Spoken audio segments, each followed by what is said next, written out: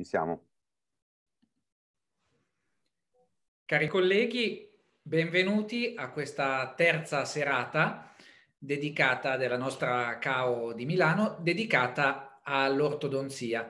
In particolare un argomento molto interessante, l'ortodonzia invisibile. Mi fa piacere vedervi tra l'altro così numerosi perché caspita su un argomento diciamo ortodontico avere addirittura più di 200 iscritti è una grande soddisfazione, grande soddisfazione anche per il nostro comitato scientifico della CAO, che ringrazio, e ringrazio ovviamente soprattutto il protagonista di questa sera, il professor Pasciuti, che eh, ci regalerà una serata veramente molto, molto interessante, molto attuale, perché tantissimi in, pazienti in un'epoca in cui assolutamente l'estetica è un must, ci chiedono ovviamente per quanto riguarda l'ortodonzia qualche cosa di, che non si veda, ovviamente le eh, soluzioni invisibili.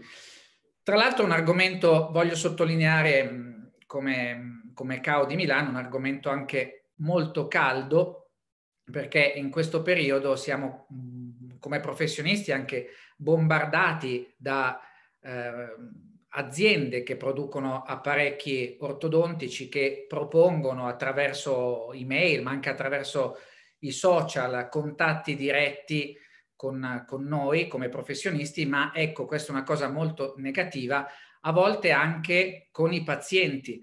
Voglio ricordare in questa occasione quello che è successo proprio a Milano, nelle nostre metropolitane, circa due o tre mesi fa, dove tutti noi che prendiamo la metropolitana abbiamo potuto vedere dei cartelloni 3 metri per 2 dove un'azienda che produce apparecchi ortodontici trasparenti si reclamizzava direttamente ai pazienti. Ecco, questa è una cosa assolutamente fuori legge e devo dire una soddisfazione per la nostra CAO di Milano che abbiamo avuto un colloquio proprio con il direttore generale della, di, questa, di questa azienda che ha prontamente rimosso da tutte le metropolitane di Milano questa, questa pubblicità, perché ricordiamo ancora per una legge del 1992 è vietato che dei marchi commerciali che producono eh, dispositivi medici su misura, come è un apparecchio ortodontico, si reclamizzino direttamente al paziente. Lo possono fare a noi perché siamo ovviamente possono reclamizzarsi con noi perché siamo dei professionisti, ma non direttamente al paziente. Tra l'altro una cosa che eh, raccomando che dobbiamo tutti noi come professionisti avere la massima attenzione, ci sono alcune aziende, come era quella in questione che faceva questa pubblicità, che propongono ai professionisti dei contratti dove c'è scritto in una, in una clausola che il responsabile del trattamento è l'azienda. Ecco, questi sono contratti assolutamente nulli per la legislazione italiana, per cui dobbiamo fare grande attenzione quando un'azienda che produce eh, impianti o che produce, soprattutto in questo caso, apparecchi ortodontici, ci propone contratti dove magari propongono di inviare pazienti in studio e fanno sottoscrivere una clausola in cui il responsabile del trattamento è la casa madre. Ecco, questo è assolutamente una clausola nulla per la legislazione italiana e fare molta attenzione quando ci vengono eh, proposti questi tipi di contratti. Ritorniamo all'argomento di stasera, la, appunto una, una serata molto interessante di odontoiatria invisibile. Ringrazio ancora una volta il professor Pasciuti ma lascio a questo punto la parola al nostro consigliere segretario della CAO, la dottoressa Lucia Giannini. Ma prima ancora di lasciarle la parola vorrei, perché sto vedendo tra i partecipanti anche la presenza eh, di Gianvito Chiarello, che voglio salutare davanti a tutti, che è il presidente del SUSO. Mi fa molto piacere, SUSO nazionale, per cui mi fa molto piacere che abbia deciso di partecipare a questa serata e anzi colgo l'occasione anche per ringraziare anche lui per avere diffuso anche la brochure di questo evento culturale a tutti i suoi iscritti.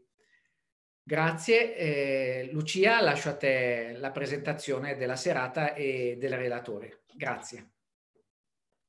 Grazie mille, buonasera a tutti anche da parte mia, grazie Andrea per avermi dato la parola e eh, benvenuti a questa terza serata del nostro programma culturale che si occupa proprio di ortodonzia. Anche da parte mia un ringraziamento al mm, Presidente nazionale della SUSO, il dottor Chiarello, e un ringraziamento a tutti voi per essere presenti, visto che siete veramente molto numerosi. Io prima di iniziare devo darvi qualche informazione tecnica eh, riguardante appunto la, la serata, riguardante alcune, alcuni dettagli che sono importanti per l'acquisizione dei crediti ECM. Innanzitutto eh, vi raccomando di rimanere connessi per tutta la durata dell'evento, quindi per il 100% del monte ore, in modo tale che la vostra presenza sia registrata in modo corretto. Potrete poi eseguire il questionario CM a partire dalle 12 di domani fino alle ore 23.55 del 7 di aprile. Durante la serata e durante la relazione del nostro eh, professor Pasciuti potrete rivolgere delle domande che eh, potrete scrivere nella chat che trovate nella parte bassa di Zoom e verranno poi da noi moderatori rivolte alla, al relatore alla fine del suo intervento. Quindi non abbiate timore a scriverle anche durante la relazione, ma aspettatevi che poi verranno eh, date le risposte appunto alla fine della, della serata. Con molto piacere introduco quindi il nostro relatore, il professor Pasciuti, che eh, vi do alcune informazioni che ormai eh, conoscete, però eh, in primis eh, vi do alcune informazioni riguardanti il suo curriculum, si è laureato in odontoiatria presso l'Università degli Studi di Milano e si è specializzato in ortodonzia presso la medesima università. È stato anche professore a contratto della Scuola di Specialità di Ortodonzia presso l'Università degli Studi di Milano e attualmente lo è presso l'Università di Roma Tor Vergata. Ha acquisito dei titoli molto importanti in ambito ortodontico, tra cui l'Italian Board of Ortodontica Liner e lo European Board of Orthodontist. Adesso mi permetto, Enzo, di farti qualche domanda un po' più informale, diciamo, dopo aver letto il tuo curriculum, che è sicuramente molto prestigioso. E quindi permettimi di chiederti dove sei nato. Eh, innanzitutto, buonasera a tutti. Eh, buonasera Lucia, buonasera Andrea, grazie per l'invito. Allora, io nasco il 6 dicembre 1978 a Tradate, eh, che è in provincia di Varese, quindi questo eh, paese di 20.000 anime in provincia di Varese. E, ehm, sei legato alla tua città di origine? Sì, tieni conto che ho vissuto a Tradate fino a quattro anni fa sostanzialmente, quindi ho 43 anni ormai, fino a 38-39 anni ho vissuto qua e sono legato anche perché quando nel 2014 ho deciso di aprire il mio studio ortodontico ho fatto una delle scelte più azzardate, eh, che poi comunque alla fine ha pagato, però che è stato aprirlo a Tradate, uno studio ortodontico non è un modello normale in Italia così consueto, così insomma, quindi eh, probabilmente avrebbe, sarebbe stato più semplice aprirlo a Varese, a Como, a Milano, però ci ho creduto, appunto ci tenevo ad aprirlo tra date e, e quindi l'ho aperto lì. Oggi va molto bene. Solo negli ultimi anni mi sono trasferito uh, di abitazione semplicemente perché avevo bisogno di più spazio, abito a Mozzate che è 5 minuti da qua, però il mio cuore di tra... mi sento un tradatese sempre. Quali sono allora i tuoi hobby? Diciamo, non so se hai qualche passione particolare che ci vuoi raccontare. Ma guarda, allora, ho, ho due o tre hobby particolari, diciamo. Il problema è quando coltivarli, perché eh, tra lo studio che mi occupa tantissimo tempo, tutte le attività di consulenza, poi durante i weekend sono sempre a tenere corsi, quindi è un po' difficile. Però il mio hobby principale è collezionare videogiochi e flipper anni 90, anni 80-90 eh, perché poi li restauro, li sistemo, la verità è che non ho mai tempo di giocarci, però è un hobby un po' particolare anche perché sono tutti belli ingombranti, pesano 150 kg l'uno, quindi ah anche solo muoverli eccetera non, non è semplice, però flip per lo più qualche videogioco ma per lo più flip e poi d'estate mi, mi, mi diletto a cucinare, a cucinare, soprattutto con griglia, barbecue americani, tutte queste cotture dirette dirette, 7-8 ore di cotture, cose un po' particolari. Il risultato non è sempre quello che mi aspetto, però è un bel modo per trascorrere domeniche in amicizia con, con gli amici, insomma. Ah, direi assolutamente. Ti faccio due domande legate alla, alla, tua professione. Qual è l'aspetto più bello e quello più brutto della tua professione? Ok, beh, sicuramente l'aspetto più bello dell'essere un ortodontista è che probabilmente, non voglio però probabilmente tra le varie discipline odontoiatriche è quella in cui facciamo meno male sostanzialmente, perché non, non, facciamo quasi mai anestesia, il paziente non viene che ha dolore, eccetera.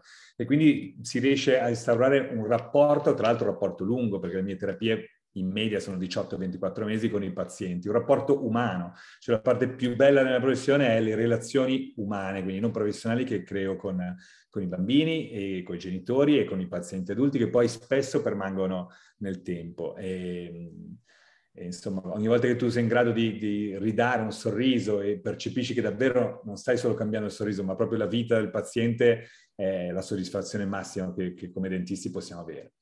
La parte più brutta l'ha già in qualche modo accennata Andrea e, ed è la mercificazione di questo momento uh, storico dell'ortodonzia legata appunto a questa, queste aziende che vogliono uh, saltare contemporaneamente, completamente la nostra, la nostra figura addirittura e vendere mascherine um, ai pazienti direttamente, come se il nostro fosse un ruolo di, di venditore. Io non mi sento per niente un venditore ah. e quello che vedrete in questa, in questa relazione è che io utilizzo un mezzo terapeutico che è l'allineatore, ma con dietro tante, tante conoscenze biomecaniche e che è quello che fa la differenza tra un trattamento e un maltrattamento, un trattamento che è poco predicibile. Eh, però sicuramente è qualcosa che eh, un po' insomma mi lascia, mi lascia l'amaro in bocca. Mm, decisamente. Visto che tu tieni tantissimi corsi, hai spesso a che fare con giovani colleghi qual è un consiglio che ti senti di dare a loro? Cosa consiglieresti a chi si affaccia oggi all'odontoiatria, magari in particolare all'ortodonzia?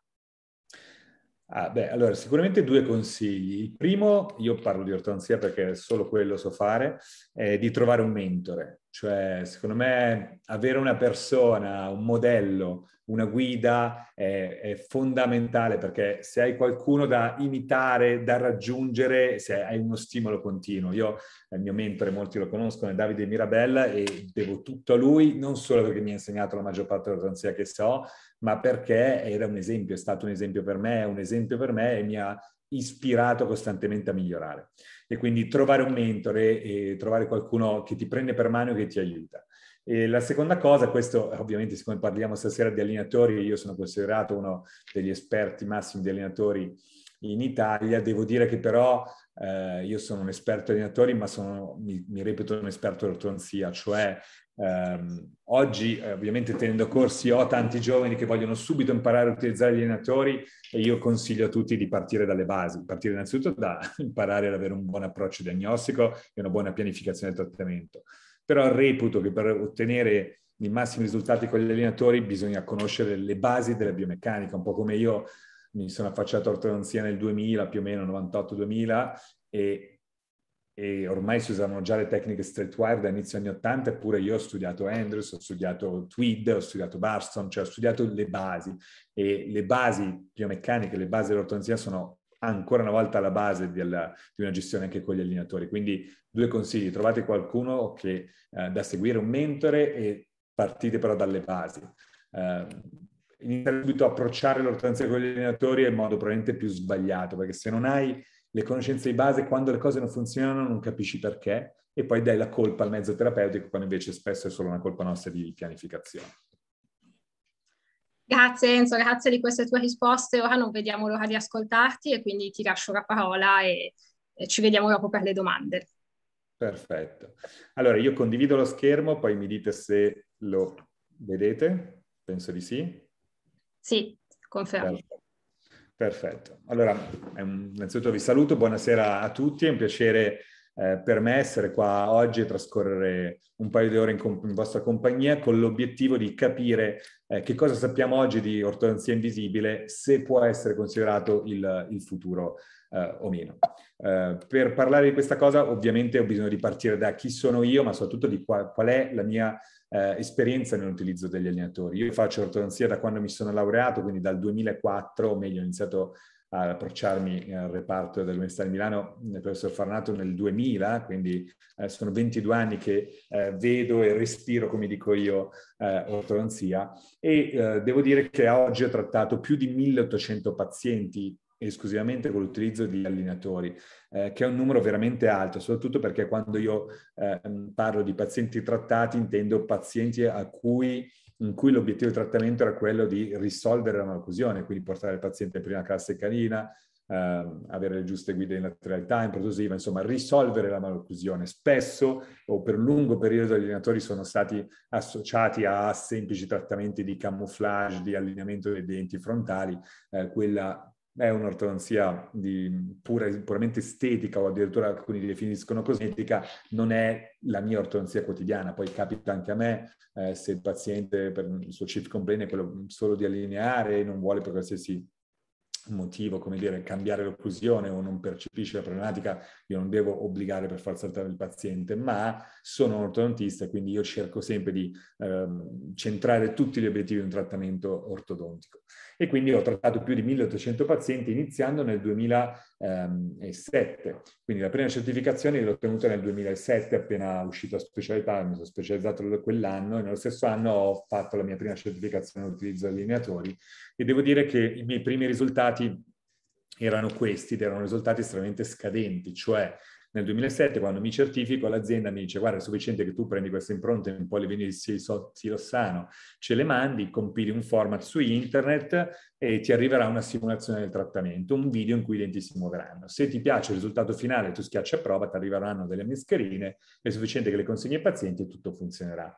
Io ai tempi ero molto più giovane di oggi, ero già però abbastanza furbo e sgamato, quindi decido di prendere tre pazienti con un'occlusione ideale, come mamma gli aveva fatto di perfetta prima classe bilaterale, uno aveva un po' di morso profondo e basta, uno un po' di affollamento e un altro un semplice diastema. Mando, prendo le mie impronte, compilo il format, mando tutto all'azienda, mi arrivano questi, eh, questi setup chiamati clean check che non sapevo assolutamente come guardare e soprattutto che cosa guardare, quindi mi limito a vedere se i denti nel video sembravano fossero detti o meno, in effetti lo erano, approvo, mi arrivano gli allineatori e quindi questo vuol dire che io non avevo nessun modo interagito con la simulazione, non avevo in nessun modo applicato alcun concetto biomeccanico che peraltro allora ai tempi conoscevo ancora poco perché mi ero appena specializzato e eh, sono stato in grado di perdere l'occlusione in tutti e tre i pazienti, cioè se vedete i pazienti a fine trattamento non chiudono nei settori posteriori. Questo è quello che viene chiamato eh, posterior open bite, che è una, dire, un effetto collaterale che ancora oggi è, è fortemente presente, eh, tant'è vero che se eh, scrivete su internet eh, come correggere il morso po- posteriore a seguito di trattamento con allineatori trovate più di 255.000 risultati, quindi è una cosa che preoccupa sia i pazienti che lo percepiscono, eh, ma soprattutto eh, che preoccupa ancora eh, i colleghi. Oggi nel, nel nostro studio questa cosa non succede perché abbiamo imparato a prendere il controllo della situazione, applicare le conoscenze biomeccaniche che avevamo prima sulle apparecchiature fisse le abbiamo semplicemente tradotte, traslate per le biomeccaniche allineatori e siamo in grado di avere molto più controllo. Questo mi ha portato quindi dal 2007 al 2014 a trattare veramente pochi casi perché percepivo che non ero in grado di avere controllo. Ero il braccio destro in quel momento di Davide Mirabella che eh, era conosciuto, è conosciuto per il finishing, la qualità di perfezione dell'occlusione e non potevo permettermi di avere quel tipo di risultati. E quando mostravo i casi ai miei colleghi più esperti, ai miei amici e colleghi più esperti mi dicevano, beh, ma cosa vuoi, cosa ti aspetti da questo mezzo terapeutico dalla plastica? Non puoi avere controllo con la plastica. La verità è, non era che non potevamo avere controllo, la verità è semplicemente un'altra, che nessuno ci aveva insegnato come prendere controllo, nessuno ci aveva insegnato come le biomeccaniche da utilizzare per gli allineatori. Ci avevano semplicemente detto prendi queste cose, prendi un'impronta, ti arrivano le mascherine e consegnale e tutto funzionerà. Questo mi ha portato a una prima rottura fortissima con gli allineatori che ho smesso di usare in brevissimo tempo. Dal 2007 al 2014 li ho usati in meno di 100 casi per semplici e banalissimi allineamenti quando il paziente non voleva uh, fare alcune, alcunché d'altro. Nel 2014, dopo dieci anni da quando inizio le mie attività e uh, lavoravo in più di 20 studi dentistici come consulente, decido uh, di volermi fermare, nel senso che volevo aprire il mio studio, decido di aprire uno studio odontico, come dicevo prima, a Tradate, in provincia di Varese, e nel momento in cui decidi di aprire una realtà nuova, tra l'altro difficile da capire perché eh, per le persone comuni lo studio ortodontico è qualcosa di strano, no? In Italia non è come negli States o in Francia dove c'è lo studentistico studio ortodontico, in realtà non così presente.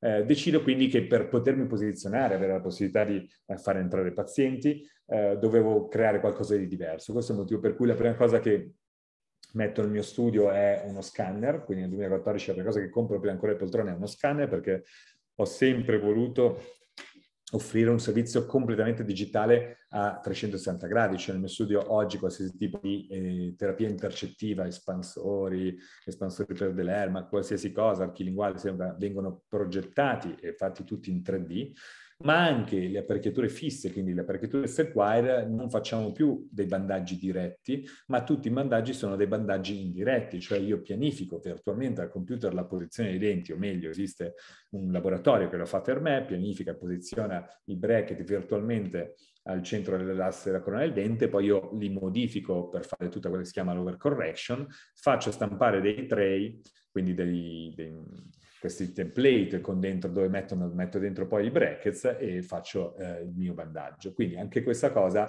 è quello che viene chiamato il bandaggio indiretto pianificato eh, digitalmente. Eh, anche l'utilizzo di mini viti che ci hanno, come dire, aperto un mondo, hanno ortodontisti le, le, due più grandi rivoluzioni negli ultimi dieci anni sono sicuramente gli allineatori e i risultati si possono ottenere con gli allineatori e le mini viti. Eh, tutta la pianificazione dei mini viti, avendo la, la TAC, la CBCT in studio, viene fatta eh, un po' come le dime eh, chirurgiche per gli impianti, eh, quindi con dell'inserimento dei mini guidati. Quindi facciamo tutte queste, eh, questo tipo di pianificazioni che ci permettono di ottenere risultati importanti e che ci permettono oggi sempre di più di aver superato o spinto più in là i limiti dell'ortodonzia. Oggi facciamo espansioni su mini vite anche pazienti di 35-40 anni, riuscendo ad aprire a lavorare sulla struttura, quindi avere un reale effetto eh, scheletrico. E tutto questo nel mio studio viene sempre e solo pianificato eh, digitalmente. Ma la seconda scelta che ho fatto nel 2014, quando ho deciso per il mio studio, era se vuoi essere, eh, insomma, eh, aumentare velocemente il numero di pazienti, devi essere sempre diverso, devi posizionarti in maniera diversa, quindi digitale e poi ho deciso di partire a utilizzare il più possibile Invisalign, semplicemente perché i miei colleghi attorno al mio studio, ho 22 studentistici da tradate, ognuno con il suo consulente ortodontico, però la maggior parte non offriva eh, no, trattamenti con, con, gli allineatori. E, e, quindi questo è il motivo per cui ho deciso di eh, intraprendere questo percorso. Ovviamente eh, non si può pretendere, questo è il consiglio soprattutto per i più giovani, di approcciare una nuova tecnica con quegli allenatori se non si ha esperienza, iniziando a trattare tutte le malocclusioni da subito. Questo non è stato il mio percorso. Io quello che ho fatto nel 2014, quando ho deciso di iniziare a utilizzare in maniera importante, massiva, gli allineatori, eh, ho iniziato a fare corsi su corsi, ho girato il mondo, ho speso energie, soldi e tempo, eh, sono andato a trovare i migliori provider, i migliori eh, speaker di tutte le tecniche degli allenatori e da loro ho imparato i segreti e poi corso dopo corso, aereo dopo aereo, tornavo in studio, applicavo quello che avevo imparato e quello che poi funzionava eh, l'ho protocollato. E anno dopo anno ho aumentato eh, il numero di eh, casi, ma non è tanto il numero eh, di casi che si possono trattare con gli allenatori, ma è la tipologia di malocclusioni trattabile con gli allenatori, nel senso che nel 2015, appena inizio a trattare casi coordinatori mi concentro banalmente sulle prime classi, quindi prime classi con un po' di morso profondo, affollamenti, diastemi, ma poi anno dopo anno, questa distribuzione dei casi del mio studio, eh, decido di eh, spingermi e quindi, eh, come dire, allargare eh, la, cap- la, quantità, eh, la tipologia di malocclusione trattabile con gli allenatori. Quindi prima mi focalizzo sulle seconde classi, soprattutto sulle seconde classi morso profondo, perché sono eh, le ehm, malocclusioni che si Uh, come dire, si evidenziano di più nel mio studio, il 60% delle occasioni sono seconde classi morso profondo. Poi decido di lavorare molto sul verticale, eh, perché eh, nelle tecniche streetwire il morso profondo è qualcosa di facilmente gestibile, mentre con gli allenatori è qualcosa di molto più difficile da trattare, quindi ho lavorato molto sul controllo di verticalità, sul controllo di terze classi, fino ad arrivare poi oggi questa è la distribuzione del 2018, ma da lì in poi è sempre stato così, a trattare la quasi totalità dei miei pazienti con allenatori. Oggi io penso che siamo tra l'85 e il 90, 95, dipende poi da, da, da semestre a semestre, però eh, di casi adulti trattati eh, con gli allenatori. Ripeto, sempre con l'obiettivo però di raggiungere eh, gli stessi eh, obiettivi di qualsiasi altra terapia ortodontica. E quindi alla domanda oggi della relazione, la domanda per cui sono stato invitato se gli allenatori rappresentano il futuro o no, eh beh, io dico che bisogna guardarsi in giro e ehm, ovviamente eh, secondo me rappresentano il futuro perché innanzitutto è il mercato che ce lo dice.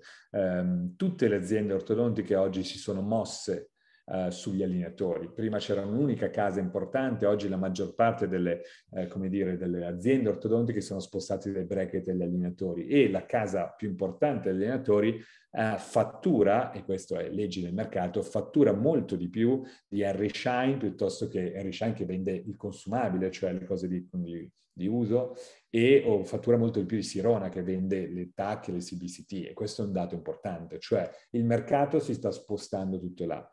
Ma se non vogliamo credere al mercato, beh, è sufficiente credere però a questo personaggio, chi di voi è ortodontista lo conosce sicuramente, Liesel Johnston, eh, eh, che nella, nell'introduzione del seminar sono ortodontici del marzo 2017, nell'introduzione dice ho sottostimato, mi sono sbagliato, ho sottostimato le potenzialità degli allenatori e l'ultima riga sottolineata dice in breve tempo eh, la tecnologia legata agli allenatori dovrà assolutamente eh, essere attenzionata. Questo perché appunto eh, tanti di noi si sono focalizzati sul pianificare, progettare e creare eh, delle biomeccaniche con gli allenatori che ci potessero permettere di trattare i nostri pazienti che prima trattavamo solo con le apparecchiature fisse ottenendo gli stessi risultati. Quindi il mercato si sta muovendo lì perché anche le richieste dei pazienti si stanno muovendo tutte su delle terapie il più invisibili possibile, ma non è tanto una questione solo di visibilità, ma anche di comfort, perché anche le apparecchiature linguali sono invisibili, addirittura sono le uniche forse invisibili, perché gli allineatori qualche cosa sono, eh, si può percepire, ma è proprio un problema di comfort e gestione eh, dell'apparecchiatura. E, ehm, e, poi scherzando gli dico sempre che se non volete credere nel mercato non volete credere in Leslie Johnson, allora credete a mio figlio, a Lorenzo di 4 anni, che essendo figlio di un dentista come tutti i vostri figli, ogni volta che fa un compleanno gli regalano sempre questo gioco del Didò. E l'anno scorso gli regalano il Didò del dentista eh, con uh, i brackets. E il 4 marzo, esattamente un mese fa, ha fatto 4 anni e, e gli hanno regalato una nuova versione dove non ci sono più brackets ma c'è l'allineatore e la striscettina per fare strip sleeping. Quindi se anche il mercato dei giocattoli si è spostato sugli allenatori, beh, vuol dire che non è il futuro, che è probabilmente il presente. Perché la mia provocazione è quella di dire che oggi, almeno nel mio studio, Invisalign rappresenta e gli allenatori rappresentano il presente, cioè l'85-90% dei miei pazienti adulti vengono trattati con allenatori trasparenti, il 75% degli adolescenti vengono trattati eh, con eh, allenatori e anche un buon 25% dei bambini eh, li trattiamo esclusivamente con gli allenatori. Uh, I bambini una percentuale più bassa perché? Beh, semplicemente perché l'allineatore non ti risolve una problematica scletica, quindi uh, quando la problematica scletica ha un cross monolaterale o bilaterale legato a una ipoplasia mascellare superiore, n- non interessa io spingere in fuori denti, voglio aprire la sutura uh, del, del mascellare superiore, quindi continuo a mettere per esempio il mio espansore rapido del palato, ma in tutte quelle situazioni di discrepanza dentobasale, in tutte quelle situazioni di mancata coordinazione tra le arcate o di eruzione abnorme o in posizione non fisiologica di qualche dente, l'allineatore è una scelta estremamente performante nel trattare quel tipo di problematiche del bambino, tenendo conto che la compliance dei bambini è altissima ed è una cosa che io all'inizio non mi aspettavo, ma devo dire che ragionandoci normale perché i bambini fino a 10 anni sono ancora sotto il controllo dei genitori, quindi collaborano tantissimo. Il 75% di adolescenti da me vengono trattati con gli allenatori e non il 100% per una ragione sola, eh, che c'è una piccola percentuale di soggetti solitamente maschi eh, tra i 13 e i 16 anni eh, che difficilmente ti collaborano con l'apparecchiatura. In realtà loro non collaborano con nessun tipo di apparecchiatura, neanche con le apparecchiature fisse eh, ma con gli allenatori è ancora più difficile perché alla base degli allenatori ci deve essere una compliance di 22 ore al giorno. I pazienti adulti ormai l'85-90% dei casi li trattiamo con, eh, con gli allenatori, gli, le situazioni cliniche che non trattiamo con gli allenatori sono i casi estrattivi che partono con un morso normale o profondo, in quei casi eh, preferisco non non utilizzare gli allenatori perché gli effetti avversi che sono roll cost effect di McLaughlin e quant'altro mi determinerebbero un approfondimento eccessivo del morso e una categoria particolare di pazienti che non deve essere approcciata con gli allenatori è quella dei pazienti che hanno i denti piccoli. Ok? Eh, perché? Perché uno dei principi base degli allenatori, oggi ne parleremo, ma è che eh, gli allenatori muovono i denti esclusivamente spingendoli e quindi più ampia, maggiore la superficie di spinta, più controllo avremo, tridimensionale la posizione dei denti. È chiaro che se un paziente ha tutti i denti micro non devono essere micro, cioè microdontici nel senso con anomalie, con anomalie di forma, magari tutti un po' piccolini, ecco che stiamo riducendo tanto la superficie spinta e avremo sicuramente eh, meno controllo. Quindi oggi il mio presente è l'utilizzo degli allenatori. Questo perché? Perché ho una gestione clinica che è assolutamente uh, fenomenale rispetto allo streetwile con cui faccio il paragone. Cioè, utilizzare gli allenatori mi permette di vedere i pazienti ogni tre mesi, perché pure fisse io vedo i pazienti una volta al mese. E, ehm, e invece con gli allenatori li posso vedere ogni tre, addirittura ogni quattro mesi. E questo è un vantaggio sicuramente per me, eh, nel senso che ehm, ho meno appuntamenti schedulati per giornata, ma anche per il paziente. Oggi nessun paziente ha eh, tutto il tempo che vorrebbe per poter recarsi al dentista una volta o dall'ortodontista una volta al mese, quindi dare un'apparecchiatura che ti permette di avere un'alta precisività ovviamente, eh, e però mh, ridurre notevolmente le, le, le, visite, beh, è un grande vantaggio il paziente. Un altro vantaggio è il tempo alla poltrona. In media con Setwire da me in studio schedulano un appuntamento di 20-30 minuti perché il paziente viene, togliamo le catture, togliamo l'arco, facciamo lavare i denti, ringaggiamo l'arco, cambiamo l'arco, facciamo un piego, quel che è, e eh, insomma ci passano 20 minuti o 30. Eh, I controlli allenatori sono controlli estremamente veloci perché a parte qualche operatività tipo lo stripping, eh, se tu hai pianificato tutto bene, tutto segue, sono sufficienti 10 minuti, noi scheduliamo 10 minuti per i controlli con, con gli allenatori. Un altro grande plus è il fatto che non ci siano né urgenze né emergenze. Questa è una cosa importante. Quando ho aperto lo studio ortodontico, ovviamente uno dei plus che dovevo avere per differenziarmi dagli studi attorno a me era quello di avere un servizio, una customer care importante, avevo un servizio 24 ore su 24 e mi ricordo che tutte le domeniche dovevo venire in studio per riattaccare un bracket perché c'era sempre qualcuno che staccava un bracket a pranzo la domenica. E, ehm, con gli allenatori non abbiamo ridotto le urgenze, le abbiamo eliminate, noi non abbiamo alcun tipo di emergenza eh, con gli allenatori. E questo ovviamente è un altro vantaggio per il paziente, si riduce il rischio di carie perché gli studi scientifici ci dicono che è più semplice lavare i denti. Ovviamente io apprezzo e um, adoro tutti questi vantaggi degli allenatori, ma lo faccio solo perché riesco a ottenere gli stessi risultati che si ottengono con lo streetwire, intendo eh, risultati di qualità. La verità è che la letteratura però dice una cosa completamente diversa da quello che vi sto dicendo io, cioè se voi guardate questi articoli che sono um, uno nel 2017 e uno nel 2015, uno della scuola di Torino che è molto forte sugli allenatori con Tommaso Cassoflorio e il suo gruppo, l'altra è della scuola di Ferrara, professor Siciliani, il mio carissimo amico fraterno Luca Lombardo, eccetera. Eh, questi due studi sono, hanno valutato, uno una systematic review, uno uno studio retrospettivo, ehm, qual è la predicibilità dei movimenti singoli nel piano spazio con gli allineatori. E la predicibilità, gli studi ci dicono che è bassissima. L'estrusione si verifica meno del 30%, le rotazioni, scusate, eh, le rotazioni dei canini meno 30%, il laterale è difficile da muovere, il premolare che è un cilindro ancora più difficile da ruotare, non si può risterizzare più di 2 mm, massimo 2 mm e mezzo e in tantissimi casi si rischia di perdere l'occlusione posteriore. Quindi questo è quello che ci dice la letteratura. Eppure io oggi sono qua per dirvi che si può prendere il controllo eh, della situazione con gli allenatori, eh, perché questi studi si basano eh, su un dato che quando io ho scoperto mi sono venuti i brividi. Eh, dovete sapere, questo è un dato del 2019, che nel 2019 ehm, l'80% dei casi ortodontici con allineatori della casa più importante sono stati accettati dall'ortodontista, approvati dall'ortodontista alla prima review. Cioè vuol dire senza essere stati guardati, perché se io guardo una cosa e non ne modifico niente, vuol dire che accetto in maniera passiva il trattamento pianificato da un tecnico dall'altra parte del mondo eh, che probabilmente non ha neanche le, le corrette competenze biomeccaniche o da un'intelligenza artificiale, perché oggi le prime review, primi, le prime simulazioni ci arrivano pianificate dall'intelligenza artificiale che non può tenere in considerazione tutti i valori che noi umani abbiamo invece la possibilità di tenere in considerazione soprattutto dal punto di vista diagnostico. Allora ed è chiaro che se l'80% dei colleghi, proprio perché il messaggio dell'azienda all'inizio era questo, ti arriva una simulazione, tu accettala, arriveranno le mascherine, tutto funzionerà, vi ho fatto vedere io i miei primi tre casi, è chiaro che se lo studio viene fatto su, su questi dati è normale che la precipità è bassa, ma la verità è che gli allenatori oggi io li considero davvero come una Ferrari, cioè la miglior macchina, il miglior mezzo terapeutico da poter utilizzare in ortodonzia. Vi ho, vi ho già spiegato la gestione clinica quanto sia più semplice per me e per il paziente. Però è chiaro che se voi mi date adesso le, le, le chiavi in mano di una Ferrari e mi chiedete di darla, molto probabilmente o vado 20 all'ora o mi schianto alla prima curva. Perché? Perché non so usarla.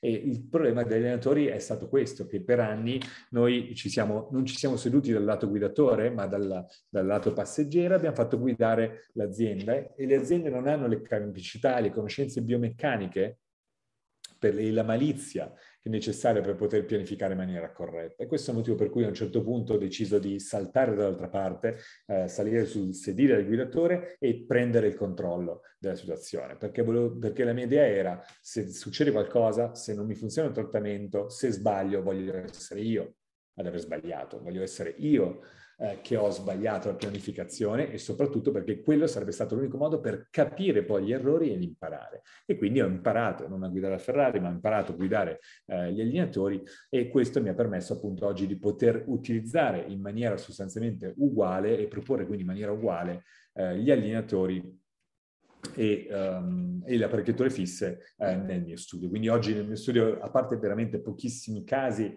Uh, io non propongo una tecnica o l'altra, io spiego gli obiettivi del trattamento e poi a seconda delle esigenze del paziente dico che può essere trattato con un classico apparecchio fisso formato quindi da dei bracket, quindi dei, dei rettangolini in metallo e un filo in metallo che li unisce tutti e che muove i denti. Se il paziente vuole qualcosa di più estetico, allora gli dico che sostituirò queste placchettine in metallo con delle placchettine bianche, ma il filo sarà sempre in metallo. Se vuole qualcosa di ancora più estetico, io non parlo mai di invisibile, allora sostituirò anche il filo e invece avere un filo ci sarà una mascherina in plastica che coprirà questi bracket ceramici. Io utilizzo questo perché, perché questo, questo modo per spiegare ai miei pazienti perché faccio un grande uso o tra virgolette abuso di attachment gli attachment, per chi magari ha meno confidenza con gli allenatori, cosa sono? Sono eh, queste cose che costruiamo, queste forme che costruiamo, incolliamo sui denti con del composito, che servono da una parte a aumentare la ritenzione sotto squadra per garantire che la mascherina calzi perfettamente, ma soprattutto creano un sistema di forze che interagisce, hanno una superficie, si chiama superficie attiva, che interagisce con la mascherina e crea uh, una forza che muoverà il dente nella posizione finale. E seppur le aziende cerchino di eh, fare degli attachment eh, ottimizzati, gli attachment ottimizzati per definizione sono miniaturizzati, ci sono attachment più piccolo possibile che può darmi quella trasmissione della forza, eh, un'ortodonzia ad oggi fatta con alta predicibilità come la mia, alta predicibilità vuol dire che riesco a un'ortodonzia con un allenatore efficace ed efficiente, cioè riesco in un tempo breve a muovere, breve nel senso una terapia di una lunghezza corretta, riesco ad avere un controllo tridimensionale della posizione dei denti, uso degli attachment più grandi, eh, perché l'attachment ottimizzato per, per definizione miniaturizzato, gli attachment convenzionali, cioè io uso dei rettangoli essenzialmente, invece hanno, sono più grandi. E questo cosa vuol dire? Che hanno una superficie attiva di spinta maggiore. E vi ho detto prima, inizio relazione, che maggiore la superficie di spinta, più controllo ho. E quindi quando devo promuovere la, la, mia tecnica invisibile non dico che è completamente visibile, perché ci saranno questi attachment che poi sono bianchi, sono fatti dei compositi traslucenti, quindi sono poco percepibili, a una distanza di un metro e mezzo, due, non si vedono, però è qualcosa che voglio uh, comunicare a, al paziente. Tornando alla casistica clinica, l'obiettivo di questa uh, breve relazione è quello di mostrarvi semplicemente dei casi di uh, appartenenti a diverse categorie di malocclusioni e vedere insieme uh, il prima e il dopo, vedere come ho pianificato ehm, i trattamenti per, ehm, come dire, sottolineare le capacità e le possibilità eh, degli allineatori nell'aumento della precipità. E partiamo con questo caso con, di un, uh, un, ragazzo di Napoli che studia a Milano e viene a trovarmi in uno studio importante in centro Milano dove lavoro e faccio uh, consulenza da ormai eh, 12 anni. Uh, lui viene a trovarmi sostanzialmente per un, problema, non gli piace il sorriso, vede che ha un sorriso nettamente stretto, ha dei corridoi buccali fortemente rappresentati, ha un torque fortemente paziente negativo dei settori lateral posteriori superiori, quindi vuole avere un sorriso ehm, più piacevole, più pieno, mi, mi dice. Eh, guardiamo la situazione dal punto di vista dentale, questa è la panoramica, questa è invece la lato laterale che ci fa vedere che è un paziente sostanzialmente eh, con una seconda classe di 7 gradi, è un paziente normodivergente con forse un terzo inferiore del volto aumentato e con la tendenza al morso aperto. Queste sono le problematiche del paziente dal punto di vista dentale che sono quelle che, che, ci interessano di più. Ho scelto come primo caso un caso semplice, nel senso che il paziente presenta una prima classe bilaterale sia molare che canina, quindi dal punto di vista antroposteriore è perfetto. C'è una deviazione della linea mediana inferiore rispetto verso destra, la superiore come potete vedere dal filtro è perfettamente eh, centrata, c'è un torque eccessivamente negativo nel settore latero-posteriore superiori con un'arcata superiore fortemente contratta eh, e con una forma V, mentre l'arcata inferiore ha una forma AU e presenta appunto un affollamento. Come dicevo prima, dal punto di vista scheletrico, ma anche dal punto di vista dentale, questo paziente presenta una tendenza all'open bite, cioè ha un overbite minimo di 0,5 e questi, per chi ha un po' di esperienza, sa, sono i casi più difficili da trattare con le apparecchiature fisse. Io solitamente non do il messaggio che quegli allenatori le cose si facciano meglio che con l'apparecchiatura fissa. Per me, nel 90% dei casi, funzionano allo stesso modo, bene allo stesso modo, ma c'è un paziente in cui l'allenatore funziona meglio che è il paziente con la tendenza al morso aperto o addirittura il paziente con il morso aperto. Questo per una semplice ragione che dal punto di vista biomeccanico tutte le tecniche straight wire, tutte le apparecchiature a filo continuo sono apparecchiature per definizione estrusive, cioè quando mettiamo due bracket con gli slot slivellati sarà più facile che un dente estruda piuttosto che l'altro intruda e quindi tendono a estrudere, tendono ad aprire il morso ed aumentare la dimensione verticale. Questo è il motivo per cui, come dicevo prima, è facile aprire i morsi col set wire. Al contrario, gli allenatori non sono per niente a tecnica esclusiva, quindi è più difficile aprire il morso, però poi ti farò vedere dei casi di come lo gestisco io, ma dal punto di vista del controllo e verticalità, siccome non è una tecnica esclusiva, si ha un perfetto eh, controllo che serve soprattutto in questo tipo di eh, pazienti con la tendenza all'open bite. Abbiamo pochissimo affollamento sopra, 4 mm di affollamento sotto, il 43 meso inclinato e meso verso, e questa, vabbè, è la mia simulazione dove ci tengo a far vedere una cosa. Le mie simulazioni sono 34 allenatori. La casa madre mi dava 13 allenatori. 13 allenatori a casa mia cambiano una volta a settimana, sono 13 settimane, sono 3 mesi. Non può funzionare, non può funzionare in 3 mesi, perderò sicuramente il controllo. Un altro problema era che il setup pianificato da casa madre, che non ha la sensibilità diagnostica che ho io, non teneva in considerazione il biotipo gengivale e il biotipo scheletrico del paziente. Questo è un paziente con un biotipo gengivale sottile, la tendenza già a recessione sul 31, dal punto di vista della sinfisi vedete come stretta, ok? E loro avevano deciso di risolvere quella quantità di affollamento tra 4 mm esclusivamente propinando incisivi. Questa cosa, se io l'avessi accettata, a patto che in 13 allenatori non sarebbe verificata, avrei finito per avere dei da, un danno dei tessuti duri e molli eh, buccale, diciamo, incisivi inferiori. Il mio setup è un setup diverso in cui sono io che pianifico la posizione eh, finale degli incisivi, io che decido il limite anteriore dei denti inferiori, degli incisi inferiori, e lo faccio appunto in base alle caratteristiche biologiche del paziente. E chiedo in questo caso 34 allenatori. Un'altra cosa è che gli allenatori muovono sempre tutti i denti, ma se tu hai dei denti perfettamente ingranati, come in questo caso gli ottavi e i settimi, non vanno mossi, perché se non li muovi ti daranno un sacco di ancoraggio che ti permetterà di avere molto più controllo, perché se muovi tutto perdi il controllo. Se hai sempre l'unità di ancoraggio, tutto funziona meglio. Questa è un'altra regola degli allenatori.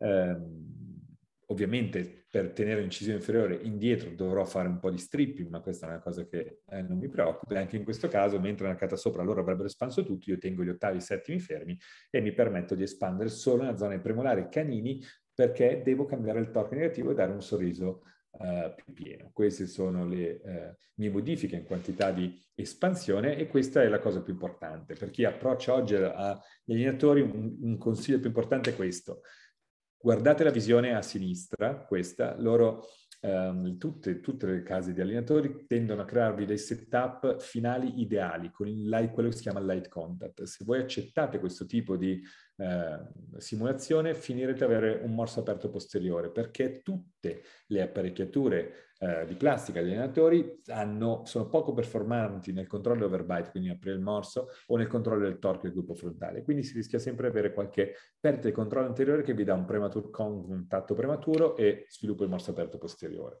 Uno dei segreti per cui io non ho più morsi aperti posteriori è perché pianifico tutti i miei clean check con 2 mm e mezzo, 2 mm e mezzo, 2 mm e mezzo di overjet da canino a canino. Questo poi clinicamente non si verificherà, arriverò ad avere comunque il LED contact, o se non ce l'ho aggiungerò poi due o tre allineatori sopra con un po' di PR alla ricerca del LED contact, ok? Ma è fondamentale che questo overjet ci sia non solo da laterale a laterale, ma da canino a canino. Questo è il motivo per cui i canini sopra li do sempre, li metto sempre in posizione da uprighting o, come piace dire noi, a torque zero. Quindi consegno la mia prima serie allenatore che sono 34, quindi 8 mesi e mezzo, e così è come arrivo alla fine della prima set di allenatori. Questo vuol dire avere controllo, non ho perso l'occlusione posteriore, sono riuscito a risolvere l'affollamento sotto, a cambiare la forma arcata sopra il torque, devo solo finalizzare fare quello che si, chiama, eh, che si chiamano additional liner, ma è il refinement, che sono in questo caso otto allineatori. Devo solo trovare il settling. Quindi il paziente fa 11 mesi di terapia meno che con lo streetwire, questi sono i pochi casi in cui la terapia con gli allineatori è durata meno che con lo streetwire, 11 mesi, e questo è il nuovo eh, sorriso del paziente. È un, paziente, un sorriso più simmetrico, più pieno, perché abbiamo espanso e messo a torque zero tutti i settori lateroposteriori, abbiamo perfettamente risolto l'affollamento, abbiamo centrato perfettamente le linee mediane, mantenendo un perfetto ingranaggio nei settori posteriori con anche gli ottavi, perché lui aveva un 48, se non sbaglio, il 18 e il 28. Questo siamo riusciti a ottenerlo semplicemente perché abbiamo pianificato da noi il movimento, la posizione finale e gli attacci necessari per arrivare a quel punto. Se ci fossimo affidati al primo setup, 13 allenatori, 3 mesi, avremmo perso il controllo, si sarebbe sviluppato un po' un morso aperto posteriore per precontatto e avremmo sicuramente eh, perso eh, il trattamento, perso nel senso non, non raggiunto l'obiettivo. Questo è appunto il prima e dopo del paziente ed è un caso abbastanza semplice, rutinario. La verità è che la maggior parte dei pazienti che vengono al mio studio sono pazienti ehm, che presentano una seconda classe, come dicevo eh, prima. E quindi la domanda è, l'allenatore può essere oggi una soluzione, un'alternativa terapeutica eh, per il trattamento di una seconda classe? Ve lo fa, vi rispondo facendovi vedere una serie di casi con meccaniche diverse. Il primo è Steven, questo ragazzo di 17 anni, è un ragazzo italo-cinese, la mamma italiana e il papà eh, cinese, che viene a trovarmi nel, nel, mio studio tra date perché hanno, i genitori hanno una pizzeria quindi spesso in pausa pranzo ordiniamo la pizza. Un giorno portandomi la pizza vede un vaso che ho in segreteria pieno di allineatori trasparenti e mi chiede ma eh, posso essere anch'io trattato con questo perché il mio dentista mi dice che devo uh, mettere l'apparecchio fisso e ho 17 anni, sono capitano della squadra di rugby, bla bla bla, non, non voglio cose che si vedano. E ha una situazione fortemente problematica, perché questa è la problematica di Steven. Abbiamo una seconda classe piena bilaterale, siamo sui 5 mm e mezzo a sinistra e 7 mm di seconda classe a destra, quindi è un full class 2. Abbiamo una deviazione di linea mediana superiore, abbiamo i, seco- i primi modali superiori, come tutte le seconde classi, che tendono a essere mesioversi, ma soprattutto abbiamo i secondi pronari inferiori che sono ruotati all'incirca 70 gradi. Dovete sapere che la letteratura ci dice che quando i premonari devono essere ruotati più di 30-40 gradi non è predicibile il movimento, ma questo lo dice la letteratura e lo dicono anche le case madri. Quindi sostanzialmente in un caso come questo avrei dovuto affidarmi a degli ausiliari o dell'altro. Abbiamo poi 7 mm overjet, che sono lo specchio della full class 2, della seconda classe piena, e anche un morso profondo. Guardate il modellino da dietro, abbiamo 5,5 mm overbite, o quindi un 90% di morso profondo. Queste le rotazioni le abbiamo già viste. Abbiamo un Bolton alterato, questo è importante perché ehm, avere la possibilità, facendo dello stripping, di ribilanciare il Bolton mi può aiutare in un caso come questo a, come cosa, far cosa durante tutta la meccanica di seconda classe ad arretrare gli incisi di sotto per contrastare gli effetti avversi delle, delle mie meccaniche. Questa è la panoramica di Steven, eh, in cui toglieremo i denti del giudizio e eh, prima di iniziare perché faremo distalizzazione e questa è la uh, laterale. Quindi abbiamo 7 gradi di seconda classe scheletrica, quindi una seconda classe scheletrica e dentale in un paziente che tende alla è normodivergente tende all'iperdivergenza e eh, per una serie di ragioni, tra cui il fatto che lui è un giovane adulto, però è un paziente a fine crecita, decido di trattare la malcosione distalizzando ogni volta che eh, pianifico una simulazione, ho cinque step, cinque eh, sì, fasi in cui io faccio la review del setup che mi viene inviato. Addirittura non sono uno di quelli che lo accetta subito, ma addirittura faccio cinque review, ognuna legata a uh, una cosa diversa. Ovviamente oggi non avremo tempo di vedere tutti, tutti gli step che utilizzo per ogni mio paziente, però in questo caso ho deciso di utilizzare la, um, un protocollo di distalizzazione sequenziale in cui i denti vengono distalizzati, parte, partono i settimi, quando i settimi sono a un terzo del loro percorso partono i sesti, poi partono i quinti quando siamo a un terzo del percorso dei sesti e due terzi del percorso dei settimi, quindi quando partono i quarti, cioè i primi premolari, i settimi sono in posizione. Questo è un pattern ufficiale che ormai utilizziamo tutti da anni e che funziona perfettamente per avere un controllo durante tutto il movimento di distalizzazione. Quello che è fondamentale pianificare è quindi non solo la quantità di movimento per ogni singolo allineatore e quanti denti muoverò insieme durante la distalizzazione, ma è che siccome il paziente è nella seconda classe dovrò al contempo distalizzare, ma deruotare molari e espandere, perché nelle seconde classi la letteratura ci dice che abbiamo sempre un deficit eh, della casa superiore di 3 mm e mezzo 4, quindi se voglio accogliere o meglio sì, coordinare la carta dal punto di vista sagittario, avrò bisogno di espandere. E il movimento di distalizzazione, distortazione ed espansione può essere pianificato con gli allineatori eh, contestualmente, tutti allo stesso modo. L'importante è poi quando arretriamo il gruppo frontale. Una volta che abbiamo distalizzato i settori posteriori, li manterremo in chiave, dobbiamo prendere gli ultimi denti da canino a canino e arretrarli, o da incisivo a incisivo ed arretrarli. Quello è un, momen- momento particolare. Perché? Perché ogni volta in ortodonzia che noi prendiamo gli incisivi e li arretriamo, dovete sapere che tendiamo a perdere torque, cioè a retroinclinarli invece che a arretrarli indietro con un movimento corporeo. Il movimento corporeo è il più difficile da tenere con l'allineatore.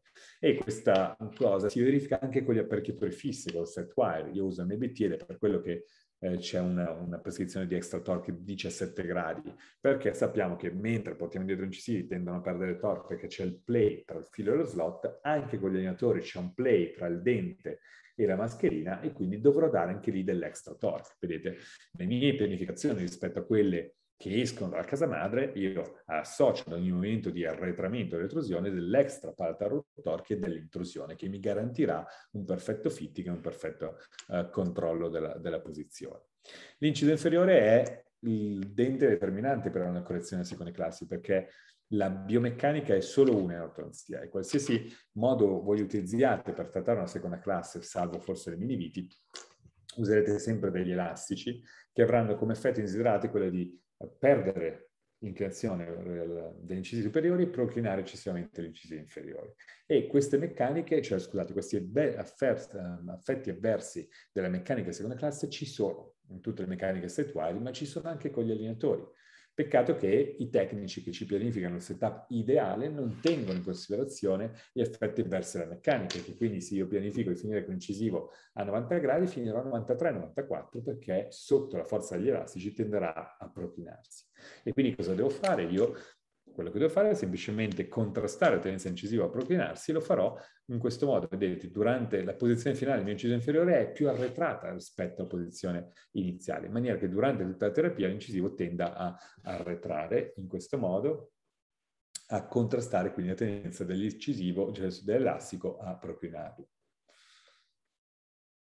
Questo è il mio setup con 2 mm del jet e dopo 18 mesi di terapia in cui appunto ho distalizzato dente dopo dente, eh, questo è come arrivo in finitura. Con un perfetto ingranaggio bilaterale, non ho perso l'occlusione, non mi si è aperto il morso posteriore, ho ricentrato le mediane, ho aperto il morso, perfettamente, ho portato tutti i denti in prima classe, ho ruotato i due premolari, che la casa madre, la letteratura mi dice più di 30 gradi o 40 gradi non puoi ruotarli, erano 70 gradi, ma sono riuscito a ruotarli, come? Usando sempre delle biomeccaniche di staging, attachment, un momento in cui inizia il dente a essere mosso particolare. La catasopra è stata espansa, guardate rispetto alla posizione iniziale come ho cambiato la forma, come i molari sono ruotati, e a quel punto devo fare quella che è davvero una finitura, non quelli che fanno allineatori, fanno 40 mascherine e poi ne fanno altre 30, quella non è finitura, quella è non avere tutto il controllo. Ma se tu pianifichi tutto, hai il controllo biomeccanico della situazione, ecco che puoi poi in tre mesi far schiantare l'occlusione e in 21 mesi totali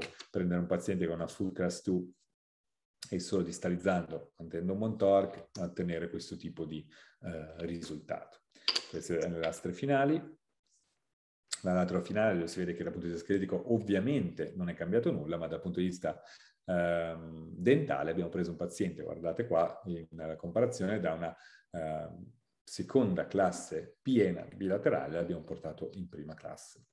Questo con un meccanismo di distalizzazione. Quindi la distalizzazione oggi è una cosa che con gli allenatori io ho iniziato ad usare veramente tantissimo perché se pianificata correttamente in termini degli attachment da utilizzare, in termini di staging, in termini di quantità di movimento per l'allenatore, ecco che è estremamente predicibile. Ovviamente si parte dal presupposto che il paziente collabori, eh, perché se il paziente non collabora, non ti mette gli elastici tutto il tempo in cui mette le mascherine, perdi, perdi il controllo, incominci a perdere il fitting e più fitting perdi, cioè meno dente dentro la mascherina, più effetti desiderati hai e quindi bisogna stare uh, veramente, come dire, accorti a questa cosa. Però dall'altra parte io sono convinto che in ortodonzia, se non c'è collaborazione, è meglio non farlo essenzialmente. È vero che esistono terapie no compliance, ma un po' di collaborazione da qualche parte ci vuole, che sono in igiene, eccetera. Ma se il paziente non è motivato, non è un paziente eh, che, be- che va bene per me, per il mio studio, insomma.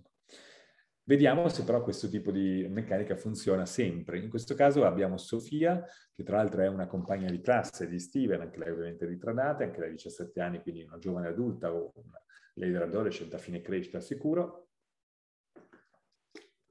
è una situazione simile dal punto di vista della classificazione, perché anche lei è una seconda classe, in questo caso non è una seconda classe prima divisione, ma è una seconda classe seconda divisione, cioè gli incisivi centrali sono retroinclinati e iperestrusi. Questa è la quantità di problematica prodentale. Ancora una volta abbiamo una seconda classe piena eh, bilaterale, con un mosso super profondo. Tanto è vero che lei rispetto a Steven è una paziente che ha un pattern scheletico diverso, anche lei 7 gradi, 6 gradi di NB, quindi seconda classe scheletica, ma il piano mascellare e mandibolare è perfettamente paralleli tra loro, quindi è una paziente normo o addirittura ipodivergente. Quali sono le problematiche eh, di questa ragazza? Abbiamo una full class 2 bilaterale, guardate, molare imperfettamente in seconda classe sia a destra che a sinistra e i canini allo stesso modo. Abbiamo una direzione leggera delle linee mediane che non ci preoccupa. Abbiamo però una seconda classe di seconda divisione. Guardate gli incisivi come sono fortemente retroinclinati, si vede anche eh, qua eh, dal video. Non c'è affollamento nell'arcata sotto, abbiamo un morso profondo del 90%, 5 mm e mezzo e ovviamente i molari che sono ruotati. Quello che vedrete è che la maggior parte delle mie seconde classi non hanno affollamento. Questo è fondamentale perché se non è presente affollamento posso permettermi durante l'altamento di portare indietro gli incisivi. Se è presente tanto affollamento non puoi pretendere di allineare i denti e contemporaneamente accorciare l'arcata, perché l'allineamento richiede spazio. Ok? Questo è un concetto eh, che spesso sfugge a chi approccio all'utilizzo degli allenatori. Il primo principio base degli allenatori è che i denti hanno bisogno di spazio per muoversi e l'allineamento, cioè la risoluzione affollamento in ortodonzia si fa sempre in espansione, in proclinazione, cioè la ricerca di spazio, no? Immaginiamo quando mettiamo un po' di brackets e dei tubi, mettiamo un arco, l'arco lo leghiamo nelle tecniche classiche vestibolari da vestibolare, lo ingaggiamo nello slot, leghiamo, quello succederà che l'arco tenderà a espandere un po' tutto, a fare un po' di uprighting nei settori posteriori, a proclinare l'incisivo e quindi guadagneremo spazio per poter allineare i denti. Anche con gli allineatori è fondamentale allineare i denti in proclinazione e in espansione, altrimenti rischiate solo di avere delle collisioni, cioè quelli che provano ogni tanto a allineare i denti mentre magari portano fuori un dente, portano, portano fuori proprio un incisivo, ne portano dentro un altro, anche se nel video sembra che i due denti non si toccano, spessissimo poi si hanno delle intercollisioni legate al fatto che i denti sono mobili durante il trattamento ortodontico e quindi poi perdita di eh, controlli. Eh, nel caso di Sofia, il, clean check che mi viene fatto è un clean check, il primo clean check che mi viene fatto è un clean check che non mi piace perché eh, veniva fatto uno stage in particolare del, della proclinazione degli incisivi, usavano degli attachment troppo piccoli per me, ma soprattutto il tempo era estremamente lungo, parliamo di 84 allineatori il che equivale a quasi due anni di terapia, solo per fare la prima fase, dove al 99% dei casi va tutto per il Cile, ma se succede qualcosa, che cosa faccio? In più lei a 17 anni, vuole arrivare a 18 anni uh, togliendo l'apparecchio questo è il motivo per cui, vi presento apposta questo caso, ho deciso, uh, ho deciso di um, utilizzare un ausiliario, ok? Quindi invece di fare la sterilizzazione sequenziale, che è quella che vi ho fatto vedere prima, cioè dente dopo dente, spingo indietro, settimi, sesti, quinti, eccetera, qua faccio una distalizzazione segmentale, cioè contemporaneamente distalizzerò tutti i settori laterali posteriori da 3 a 7, quindi dal canino secondo molare contemporaneamente nei primi 4, 5, 6 mesi e trasformerò quindi una seconda, la full cast 2, in una prima e poi dovrò solo concentrarmi sull'arretrare del gruppo frontale. A questo punto lo faccio con questo uh, sistema di distalizzazione sequenziale che fa tre cose. Fa la distalizzazione contemporaneamente distorruota i molari e li fa, ne fa anche una uprighting, perché quello che eh, mi sono dimenticato di dirvi è che in tutte le seconde classi abbiamo detto c'è sempre la problematica trasversale, i molari sono meso-ruotati, ma so, i molari superiori tendono ad essere meso-ruotati, ma sono anche meso-inclinati. Questa è l'unica apparecchiatura che contemporaneamente distorruota, distotippa o fa uprighting e distalizza nell'arcata superiore, lo fa in un, bre- in un periodo estremamente breve, 4-6 mesi, ma soprattutto lo fa nel periodo di massima collaborazione del paziente, che è inizio terapia. Perché quando io mi ricordo quando facevo lo straight wire, ci mettevo un anno per allineare, livellare e arrivare su archi in acciaio. Quello era il momento in cui dicevo, paziente, caro paziente, adesso partiamo con gli elastici, il paziente aveva già piene le scatole, già era stufo. Questa è l'unica apparecchiatura che esiste che ehm, appunto sfrutta il picco di ehm, compliance del paziente che è quello iniziale. E quindi che cosa faccio? La utilizzo in combinazione con gli allineatori. Nell'arcata sotto ho i miei allineatori che serviranno appunto a cominciare a allineare incisivi, portarli indietro, per tirare la curva di SPE. Nell'arcata sopra ho questo pezzo di apparecchiatura fissa che va da canino a settimo, a sesto, scusate, assolutamente invisibile, che però trasferirà delle, con delle forze importanti, distalizzerà da canino a settimo e in questo caso, dato che avevano 2-2, quindi gli incisivi sono retroinclinati, eh, quello che faccio è ho aggiunto anche un pezzettino di mascherina di allineatore solo nell'arcata sopra da 2 a 2 per incominciare a darle un'estetica eh, del gruppo frontale. E questo è come arrivo dopo 5 mesi di terapia. Ok, quindi io parto con una full cast 2 e dopo 5 mesi, qua quando tolgo eh, questo pezzettino, eh, ho ottenuto questo. Ho ottenuto una perfetta correzione della seconda classe, 7 minuti di correzione, ma soprattutto le cose più belle le, ho ottenute guardando da davanti, cioè da davanti ho aperto il morso, che è una delle cose più difficili adattare ai allineatori, qua l'ho trattato velocissimamente perché mi ha fatto effetto fulcro la distalizzazione così segmentale, ho migliorato l'estetica degli incisivi, quindi dal punto di vista estetico lei è sicuramente più contenta e ho anche lavorato, ho anche avuto come effetto quello di cambiare, migliorare l'uprighting dei settori lateroposteriori eh, superiori. Quindi cambiato il torque e portato in uprighting. A quel punto il caso diventa un caso semplicissimo. Cinque mesi fa era un caso difficilissimo, oggi è un caso semplicissimo, non devo fare nient'altro che scansionare il paziente, rimuovere ovviamente il, quel presidio e in altri sette mesi arretrerò incisivi mentre li arretro so che tenderanno a perdere torque, quindi farò arretramento associato a intrusione extra palata root torque. Questo è il motivo per cui ci sono questi attachment e in 12 mesi, quindi in un anno, se vi ricordate il paziente prima ci ha messo 21 mesi, quindi quasi il doppio, in un anno la porto a compiere 18 anni, questo è quando consegniamo gli allenatori di finitura, la porto a questo nuovo sorriso, che è un sorriso molto bello, secondo me, un sorriso molto naturale, un sorriso molto largo con un bel torno ai settori posteriori, le linee veniali centrate, ho risolto l'affollamento, ho risolto la 2-2 e ho i denti che ingranano eh, perfettamente. Okay? Questa è la panoramica finale, ci fa vedere che eh, abbiamo un buon parallelismo radicolare e dal punto di vista schelettico ovviamente nulla è cambiato, abbiamo ovviamente avuto un compenso dentale, inciso sopra si è leggermente retroinclinato, Uh, quello sotto si è proclinato, ma è assolutamente un buon compenso.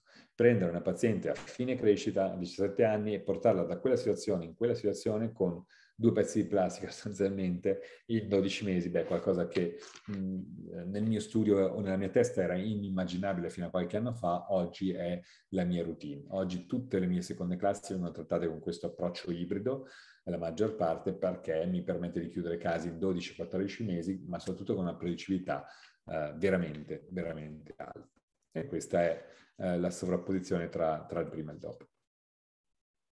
Vediamo invece adesso, ok, un'altra seconda classe, questa invece è Clara. Clara è un'altra seconda classe, in questo caso però è una seconda classe in crescita, è una ragazzina di 13 anni eh, che presenta una malocclusione che ha, ha, un po' di problematiche in, in, in, tutti i tre piani dello spazio. Dal punto di vista del profilo si vede come ha un solco labio mento nero estremamente accentuato, segno di una sinfisi arretrata, segno di un incisivo proclinato e segno soprattutto di un overjet importante in cui il labbro inferiore si infila reverso. E dalle foto del volto un'altra cosa che proprio non mi piace è l'esposizione degli incisivi, cioè quando sorride si vedono tantissimo incisivi dal punto di vista verticale. Um, l'80% dei miei pazienti, ma forse anche il 90%, quando hanno un morso profondo devo lavorare solo sull'arcata inferiore perché hanno una buona exposure, quella che si chiama l'esposizione incisivi al sorriso, eh, anche perché dobbiamo tenere conto che il paziente invecchierà, pian piano che invecchia il labbro superiore copre sempre più incisivo superiore, quindi dobbiamo sempre posizionarlo bene dal punto di vista verticale.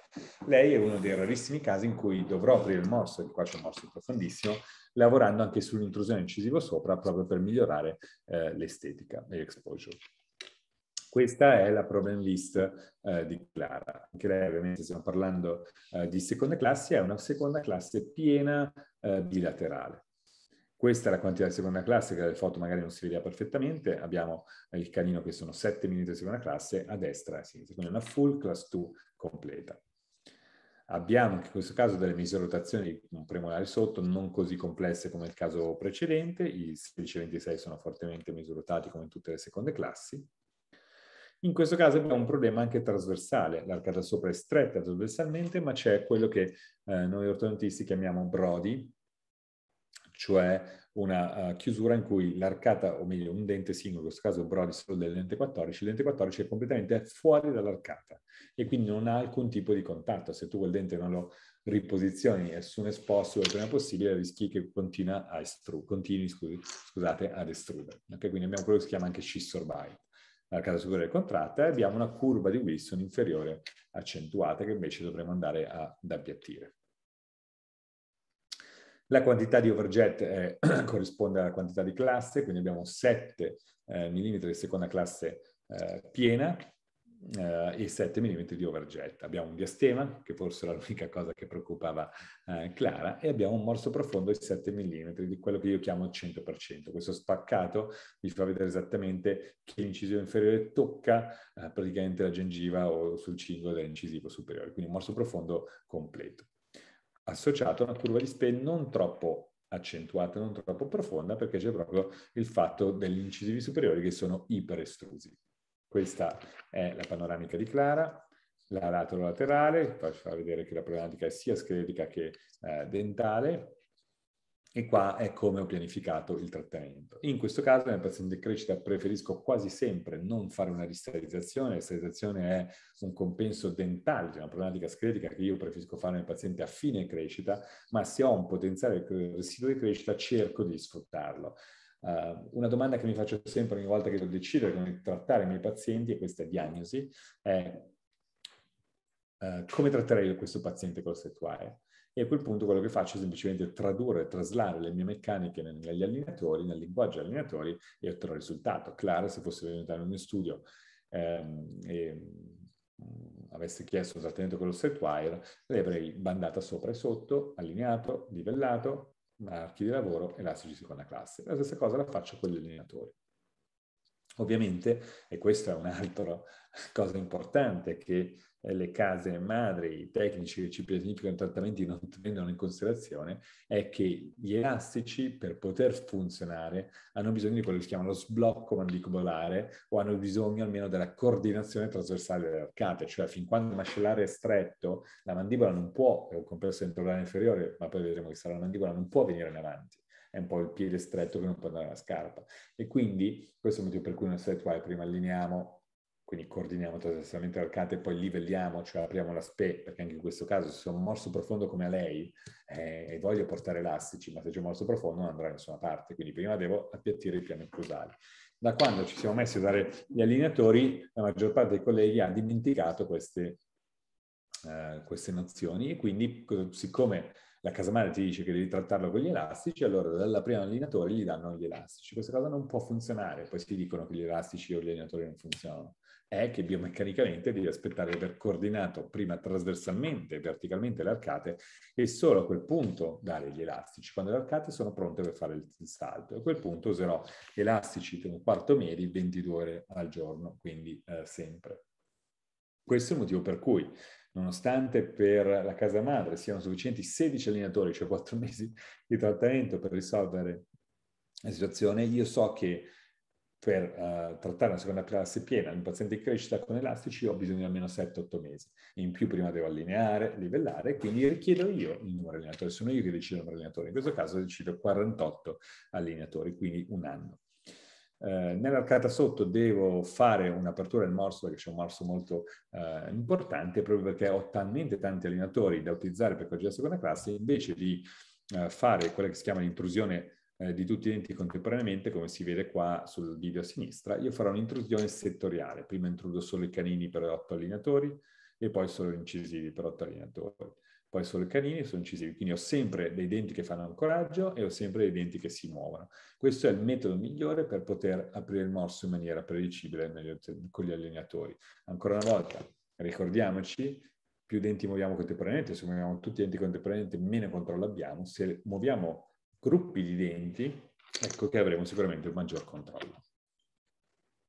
Nell'arcata superiore abbiamo detto che dobbiamo fare un'intrusione, in questo caso l'intrusione è, legata anche all'arretramento e all'extra uh, palatal root torque, quindi mi, mi, aiuterò con dei by trump per ottenerla e questo è come porto Clara a fine delle 12 mesi, cioè a fine dei 12 mesi io ho centrato tutti gli obiettivi perché Clara adesso è in prima classe molare e canina bilaterale, abbiamo ricentrato le mediane, abbiamo ridotto l'overjet, vi ricordate, da 7 mm a 1, abbiamo aperto il morso, abbiamo risolto le rotazioni, abbiamo lineato tutto, abbiamo espanso il caso superiore, abbiamo risolto il Brody, il Scissor Bite, dobbiamo solo perfezionare qualcosina. Eh, lo facciamo con 5 mesi di allineatori. Quindi in 18 mesi, che è il tempo stesso eh, che ci avrei messo con lo Streetwise, 17 mesi, ecco, questa è Clara nel suo nuovo ehm, nel suo nuovo sorriso. Abbiamo innanzitutto un profilo che è un profilo molto migliore dal punto di vista della proiezione del mento, ma guardate l'exposure incisivo. Abbiamo un sorriso pieno, con un bel torque nei settori lato posteriori e l'incisivo superiore che è stato estruso è un exposure eh, perfetta che si vede in tutti e tre eh, piani sorriso. E questo l'abbiamo fatto esclusivamente con dei pezzettini di plastica e degli elastici. Eh, devo dire che questo è stato il mio primo caso eh, trattato Uh, con gli allineatori in un paziente in crescita degli elastici un po' di anni fa. E da quel momento è diventato il master del mio studio, cioè ogni paziente in seconda classe eh, morso profondo in crescita viene trattato con questo protocollo che ha sostituito il mio protocollo Setwire eh, da ormai qualche anno e funziona perfettamente in maniera estremamente predicibile, ripetibile e eh, riproducibile guardate quanto siamo riusciti a aprire il morso. Quindi qua, quando alcuni colleghi mi dicono con gli allineatori non si può correggere il morso profondo, beh, questo dipende da chi progetta la terapia e se chi progetta la terapia ha le conoscenze biomeccaniche giuste o se invece facciamo pianificare il trattamento uh, a qualcun altro che, che, che non siamo noi. Vediamo un altro caso, adesso andiamo ancora più sul morso profondo, ok? Quindi siamo partiti da un classico caso di affollamento, in cui abbiamo lavorato molto sull'espansione, poi vi ho fatto vedere tre casi di seconda classe uh, bilaterale, uno trattato con distalizzazione sequenziale, dente rapodente, Steven, poi distalizzazione segmentale, tutto il gruppo laterale poi l'arretramento in 12 mesi, e poi Clara, paziente in crescita trattata con la meccanica che si chiama interarcata con gli allineatori. Adesso vediamo Fabio, e lì qua ci siamo avvicinati al morso profondo perché lei comunque aveva un 5 mm e mezzo, 6 mm di morso profondo, cioè comunque era un 100% di morso profondo. Fabio invece è un ragazzo di 44 anni, un amico, eh, che conosco durante una vacanza con degli amici, che abita molto lontano dal mio studio, ma un giorno il suo dentista, quando si reca a fare il suo igiene, non quotidiano, la sua igiene eh, semestrale, mi dice guarda Fabio, forse è il caso che facciamo qualcosa perché hai un po' di morso profondo. E lui dice al suo dentista, ma però è strano perché io ho già fatto un'ortodonzia, quindi mi sembra proprio strano. E quindi chiama, mi manda un WhatsApp e dice, Enzo, possiamo passare a trovarti in studio perché vorrei capire se è vero che ho una malocclusione o meno. Ovviamente io, come tutti noi eh, dentisti, ai nostri amici facciamo subito l'analisi dei denti anche quando siamo in vacanza, quindi già sapevo che aveva una malocclusione severa. Quello che non sapevo è che lui era stato trattato da adolescente. L'adolescente era stato trattato con un espansore, una headgear, quindi una, un baffo, e quattro estrazioni e il multibandaggio. Quindi aveva fatto tutto il fattibile in ortodonzia. Eppure nulla è stabile nella vita e quindi era recidivato in maniera profonda. Ed effettivamente sì, aveva ragione il collega um, dello, dello studio, il suo dentista, aveva un morso fortemente profondo. In più qua ci sono una serie di tante altre problematiche uh, di Fabio. Fabio ha una seconda classe leggera dal punto di vista Uh, molare, ma guardate dal punto di vista canino abbiamo 3 mm eh, da entrambi i lati, ed è una seconda classe ancora una volta seconda divisione, un po' come Sofia, perché ha incisivi centrali retroinclinati. Abbiamo delle arcate però che non sono per niente coordinate tra di loro. Abbiamo un'arcata superiore stretta, fortemente stretta, una distanza intercanina eh, ridotta, guardate anche il torque negativo dei canini superiori, e un'arcata inferiore invece con una forma a U, lo vedete? Queste cose non possono combaciare, abbiamo bisogno di espandere l'arcata superiore, abbiamo bisogno di coordinare trasversalmente le arcate e in più nell'arcata sotto abbiamo un affollamento severo, abbiamo 4 mm e mezzo eh, di affollamento severe misrotazioni, che in questo caso magari sopra è anche un secondo premolare sotto i 70 gradi, ma non lo sappiamo, non ci preoccupa. Non c'è Verget perché è una 2-2 e abbiamo 10 mm, 9 mm e mezzo di morso profondo. Questa è la scansione, perché non ho le foto a bocca aperta, della quantità di morso profondo. Cioè lui ha uno, qua c'è scritto 100% per byte, ma è molto di più, è 120% per byte. C'è uno step tra, tra, il canino e i premolari di quasi eh, 9 mm, abbiamo detto. Il problema è che il morso profondo di Fabio non è solo dentale, ma è anche scheletrico. Guardate, qua abbiamo due piani accusali completamente diversi, diciamo, ma il problema è che il morso profondo è anche scheletrico. Abbiamo il piano mascellare e mandibolare che sono completamente paralleli tra di loro. Per chi non si occupa di ortodonzia, vi dico solo che gli americani che sono più semplici nelle classificazioni diagnostiche chiamano il morso profondo dentale simple di bite e quando il morso profondo non è solo dentale ma è anche scletico, complex di bite. Questo per farvi capire, quando il morso profondo non è solo dentale ma è anche scheletico è molto più difficile trattarlo perché se un paziente ha le basi mascellari divergenti tra di loro è sufficiente che io dietro estrudo uno, l'effetto forbice davanti, effetto fulcro, davanti mi si apre tanto il morso. Quando un paziente ha i piani mascellari e mandibolari paralleli al pavimento, se tu dietro riesci a estrudere uno a prescindere che devi lavorare contro il muscolo, eccetera, davanti lo aprirai uno. E quindi qua c'era veramente molta difficoltà. L'unica cosa era la, questa retroinganzione e biretrusione, diciamo, ad incisivi sia superiori che eh, inferiori. E quindi ogni volta che ho un paziente con un morso profondo, questo è il mio protocollo che utilizzo con gli allenatori. La prima cosa inserisco una reverse curve SPE. Io arrivo dal state wire e nello state wire ogni volta che devo aprire un morso, se la mia l'apparecchiatura non è ehm, capace di appiattire perfettamente il morso, non è un problema, a un certo punto tolgo il mio arco in acciaio, ci faccio eh, delle pieghe, creo un reverse curve SPE e inserisco reverse curve SPE che mi, eh, come dire, trasmetterà delle forze e mi aiuteranno ad appiattire perfettamente il piano accusale. La stessa cosa si può fare con gli allenatori. Che cosa cambia? Che se questa è la curva di SPE di Fabio in inizioterapia, questa è la curva SPE che io accetto, cioè quella che loro mi propongono a un piano accusale piatto. Vedete che il mio non è piatto, è proprio inverso, ok? Da così a così scusate, a così. Questo farà sì che ci saranno una trasmissione forza che mi permetterà di aprire il morso. Okay. Per fare questo devo creare quello che si chiama un working setup, cioè il mio messaggio è sempre che il setup che mi fanno i tecnici è un setup ideale, che tiene in considerazione banalmente eh, le, le, problematiche del paziente e ci dà un setup ideale che è uguale per tutti, che il paziente arrivi da un morso profondo, da un morso aperto, una seconda classe, terza classe, il setup ideale è uguale per tutti il setup non può essere accettato perché non tiene in considerazione le caratteristiche specifiche della malocclusione, il morso profondo, non tiene in considerazione la scarsa periodicità dei movimenti e non tiene in considerazione le meccaniche avverse, eh, cioè gli effetti avversi della meccanica. Okay? L'obiettivo dell'ortodontista è prendere il setup ideale che fanno i tecnici per noi e trasformarlo in quello che si chiama setup di lavoro, che tiene in considerazione tutte queste cose.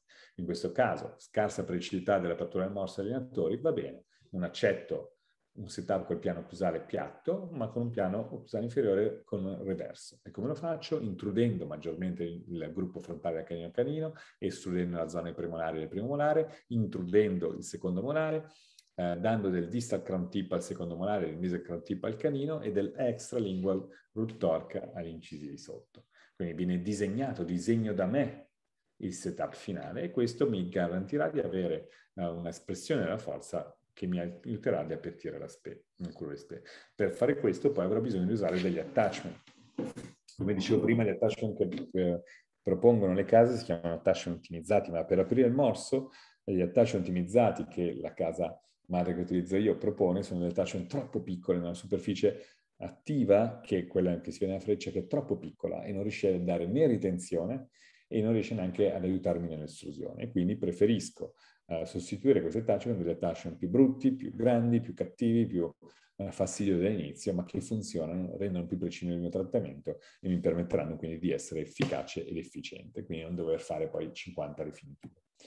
Quindi metto delle attachment rettangolari orizzontali uh, sul quarto e sul canino, ok? E li metto, siccome noi li mettiamo sulla posizione finale dei denti, li metto tutti in linea. Questo mi garantirà di riuscire a vedere velocissimamente se i denti sono allineati eh, o meno, guardando solo se gli attachment saranno in linea o no durante la terapia. Quando li vedrò così che sono in linea, ecco vuol dire che allora eh, abbiamo, abbiamo centrato l'obiettivo.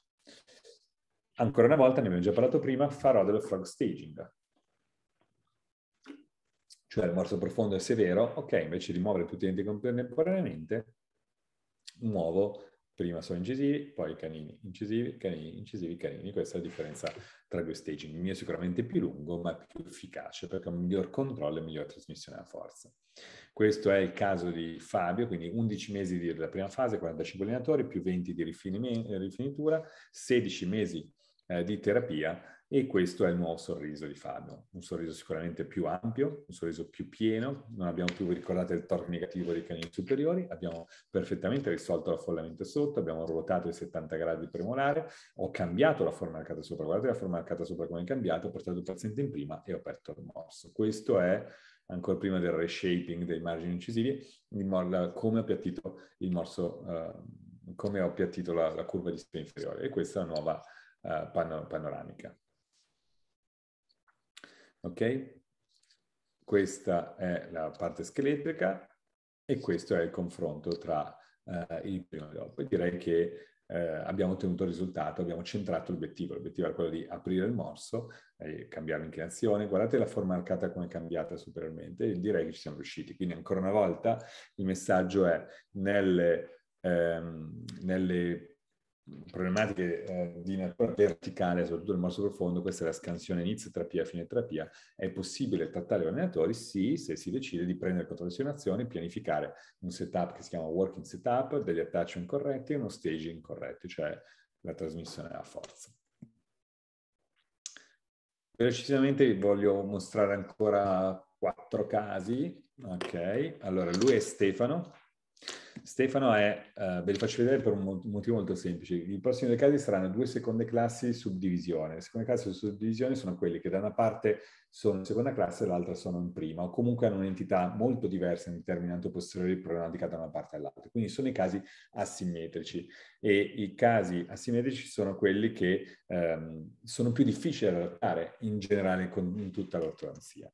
Allora, Mm, torniamo a Stefano. Stefano ha infatti una seconda, questa è la panoramica, quindi questo step, la latero-laterale, che ci fa vedere che un paziente normodivergente la tendenza all'iperdivergenza e queste sono le problematiche dentali che sono quelle che poi eh, dobbiamo discutere. Um, allora, abbiamo una seconda classe piena a destra, una full class 2 a destra, a sinistra invece abbiamo una perfetta prima classe la linea mediana superiore è centrata, la linea mediana inferiore è deviata. Ok? Questa è la cosa più importante da sapere, cioè ogni volta che ho una seconda classe suddivisione devo chiedermi se il problema di asimmetria è dell'arcata sopra o dell'arcata sotto. In questo caso la mediana sopra era centrata, era un problema mandibolare, quindi quella che si chiama um, seconda classe suddivisione tipo 1 eh, e il fatto che ci sia una deviazione mediana inferiore, questa è la quantità di relazioni di classe, si vede anche dalla simmetria dell'arcata inferiore. L'arcata superiore è bene o male simmetrica, cioè dal punto di vista antero-posteriore i premolari, i canini molari sono nella stessa posizione, eh, inferiormente invece c'è proprio una simmetria. Quindi è lì che dovrò lavorare. Il paziente presenta anche una curva di Wilson molto accentuata, anche in questo caso simmetrica, maggiore dove più in seconda classe, eh, una seconda classe con una divisione perché gli incisivi superiori sono retto inclinati e sopra tutte le corone a essere mesio eh, inclinate. Un morso profondo del 100%, in questo caso 7 mm e mezzo, guardate gli incisivi dove toccano, abbiamo un affollamento severissimo anche da sopra, 6, sotto 6 mm e sopra invece 3 mm di affollamento. Questa è la quantità eh, di morso profondo. Anche in questo, in questo caso, che cosa farò? farò quello che avrei fatto se um, avessi deciso di trattare Stefano con lo straight wire, bandato sopra e sotto, allineo livello, elastici a destra per passare alla seconda classe nella prima e gli elastici a quel punto li metto simmetrici di giorno, cioè bilaterali di giorno, solo sul lato da trattare eh, di notte. Chiaramente il vantaggio degli allineatori è che posso usare gli ottavi per fare una buona espansione del capo superiore in maniera predicibile, ho tanto affollamento sotto, essendo un morso profondo, tenderò a proclinare un po' l'incisivo, ma non troppo perché ho un Bolton uh, alterato di 1,7 mm. Il mio setup che accetto, uh, adesso comincio a diventare ripetitivo perché quello che faccio per il allenatore è sempre quello, voglio dire, e in questo caso chiederò un virtual jump antroposteriore simmetrico eh, in cui, vedete, risimmetrizzo l'arcata a fine terapia perché ho più effetto a destra. Questo lo faccio mettendo elastici medi bilaterali di giorno e pesanti solo di notte dal lato eh, di destra. Dal morso profondo faccio sempre le stesse cose, mi attaccio a rettangolari orizzontali super sottosquadrati, e utilizzo una intrusione eh, relativa con una tecnica sementale, cioè col frog staging. Non allineo e intrudo contemporaneamente tutti i denti, ma lo faccio step by step. Quindi prima allineo e poi intrudo. Guardate, adesso parte, intrusione un po' i canini, fermo i canini, partono incisivi. Ok, fermo incisivi, partono i canini, quindi segmentale. E ovviamente faccio una reverse curvo speed come intrudendo la canina canino, intrudendo 4-6, intrudendo i settimi, distal crown tip dei settimi, mesial crown tip dei canini e extra lingua root torque degli incisivi. Questo è come porto il paziente a 12 mesi. La cosa che preoccupava di più il paziente era l'affollamento, gli avevano proposto l'estrazione incisivo, che è assolutamente una, una, scelta terapeutica corretta, nulla di che. Eh, io ho, per una serie di valutazioni deciso di non estrarlo eh, quello che preoccupava me non era quello, era il morso profondo, la ricerca del problema mediane e la correzione della classe. Ma guardate, dopo 12 mesi eh, dove arrivo? A quel punto sì che la finitura con gli allenatori ha una finitura, tre mesi dove non faccio nient'altro che migliorare la posizione dei gruppi frontali, come sempre, e questo è uh, Stefano a uh, fine uh, della, della, terapia. Ok, la mediana sopra è rimasta centrata, abbiamo ottenuto una perfetta classe, prima classe bilaterale, aperto il morso, allineato tutto e risimmetrizzato l'arcata sotto. Ok, panoramica latero-laterale e um, questo è il, il confronto. Ok, dal confronto si vede come c'è stato un ottimo controllo eh, di tutti i movimenti dell'arcata. Guardate anche solo tutti questi incisivi, eh, scusate, eh, denti diatorici in settori latero posteriori superiori che erano molto mesinclinati come sono tornati perfettamente dritti. Ripeto, le meccaniche asimmetriche sono le più difficili da trattare, in generale in ortodonzia, devo dire che gli allineatori sono uh, assolutamente uno strumento efficace per le meccaniche asimmetriche. Ok? Ve lo faccio vedere con quest'altro caso di Esther. Um, Esther è un caso anche questo bello, bello, bello severo, direi, una seconda classe importante, però più da un lato che dall'altro. Ad Esther addirittura sembra essere quasi in prima classe, eh, quindi abbiamo 2 mm di seconda classe destra, 5 mm di seconda classe sinistra, con questo tip fortemente inclinato in tutti i settori latero-posteriori. Anche lei è una seconda classe seconda divisione, guardate dal modellino che gira, che collassamento che c'è del centrale dell'11 e il 12. Abbiamo, ok, questa è la quantità di seconda classe, abbiamo una simmetria dell'arcata superiore. La carta superiore, la carta inferiore è simmetrica, la carta superiore è fortemente asimmetrica, quindi questa cos'è? Una seconda classe su divisione si dice di tipo 2, dove la simmetria è legata al mascellare superiore e questa è quella in cui devo distalizzare. Troppo spesso vedo dei colleghi in, in cui eh, vedono una seconda classe subdivisione, ok? Seconda classe da una parte, prima dall'altra, in cui distalizzano anche se il problema mandibolare. Quello vuol dire ricentrare tutto, ma spostare le due mediane eh, del paziente dal lato, dal, non, non centrare rispetto al volto. Okay? Qua bisogna invece ricentrare l'arcata superiore. C'è appunto un severo mesial tip di tutti i settori lateroposteriori superiori, 6 mm affollamento, un po' come il paziente di prima, e 5 mm affollamento sopra. In questo caso, questa è la quantità di morso profondo. Guardate, 110, 120, un altro morso profondo estremamente, estremamente severo. La panoramica, le radiografie lato laterale. In questo caso ho deciso di fare che cosa? Nella carta sopra di fare una distalizzazione asimmetrica, distalizzerò più dal lato eh, di sinistra rispetto a quella di destra distalizzo pochissimo, 2 mm, qua distalizzo 7 mm. Guardate, vi faccio vedere la quantità di distalizzazione impressionante. Ho fatto una quantità di distalizzazione, mantenere il controllo nonostante stessi perdendo il coraggio anteriore perché devo proclinare incisivi per darle un po' di estetica. Perché quando fate la distalizzazione voi dovete comunque dare un po' di estetica al paziente nella prima fase. Non posso dirgli ti fai due anni allenatori e rimane ancora quei denti distorti davanti, ok? Eh, ho per questo utilizzato un, un, mio protocollo di attachment, sostituisco attachment ottimizzati che sono piccoli, metodizzati, una superficie attiva che mi dà poca spinta con degli attachment um, rettangolari, in questo caso sono bisellati mesiali ruotati 10-12 gradi perché devono avere un effetto estrusivo per contrastare quello che io chiamo il banana effect, cioè la tendenza durante i movimenti corporei del dente a scappare fuori e perdere il fitting. Ovviamente il paziente userà elastici giorno e notte, e per l'inciso inferiore ho deciso di estrarlo. Okay? A Stefano non l'ho estratto, a lei per una serie di altre ragioni ho deciso di estrarlo e nonostante l'estrazione mi dà meno proteinazione, quindi difficile aprire il morso, allora utilizzo un frog staging. Tanto sopra devo distalizzare talmente tanto che posso farlo eh, con una st- stadiazione eh, sequenziale. Introduco un po' incisivi, introduco un po' i canini, introduco un po' incisivi, introduco un po' i canini. Guardate la posizione dei canini come più bassa dei premonari perché c'è overcorrection. Okay? E questo è come arriva dopo 15 mesi. Ho perfettamente chiuso lo spazio estrattivo, ho perfettamente il paziente, la paziente che ingrana in perfetta eh, prima classe. L'unico dente che si è mosso meno è il 13, su cui dovrò lavorare eh, dal punto di vista del tip e del torque. Quindi faccio quattro mesi dove non faccio nient'altro che cambiare prima il tip e poi il torque, non lo faccio contemporaneamente, quindi vedete, prima cambio il tip e poi il torque. 19 mesi di terapia e questa è la paziente a fine terapia. Eh, panoramica finale, lato laterale e questo è il confronto. Ok? Ancora una volta ho risimmetrizzato l'arcate, quindi una, una paziente con una seconda classe di suddivisione asimmetrica mascellare, guardate il mascellare qua come è tornato perfettamente eh, simmetrico e qua come fosse invece eh, simmetrico, non simmetrico. Questi sono casi estremamente complessi, però una uh, biomeccanica, una progettazione della simulazione biomeccanicamente ragionata vi permette di prendere controllo e rendere poi un patente eh, che sembra essere estremamente difficile all'inizio, eh, non è questione di facile difficile, ma renderlo prevedibile, che è l'unico obiettivo. L'unico obiettivo di ogni mia eh, pianificazione è quello di che sia prevedibile.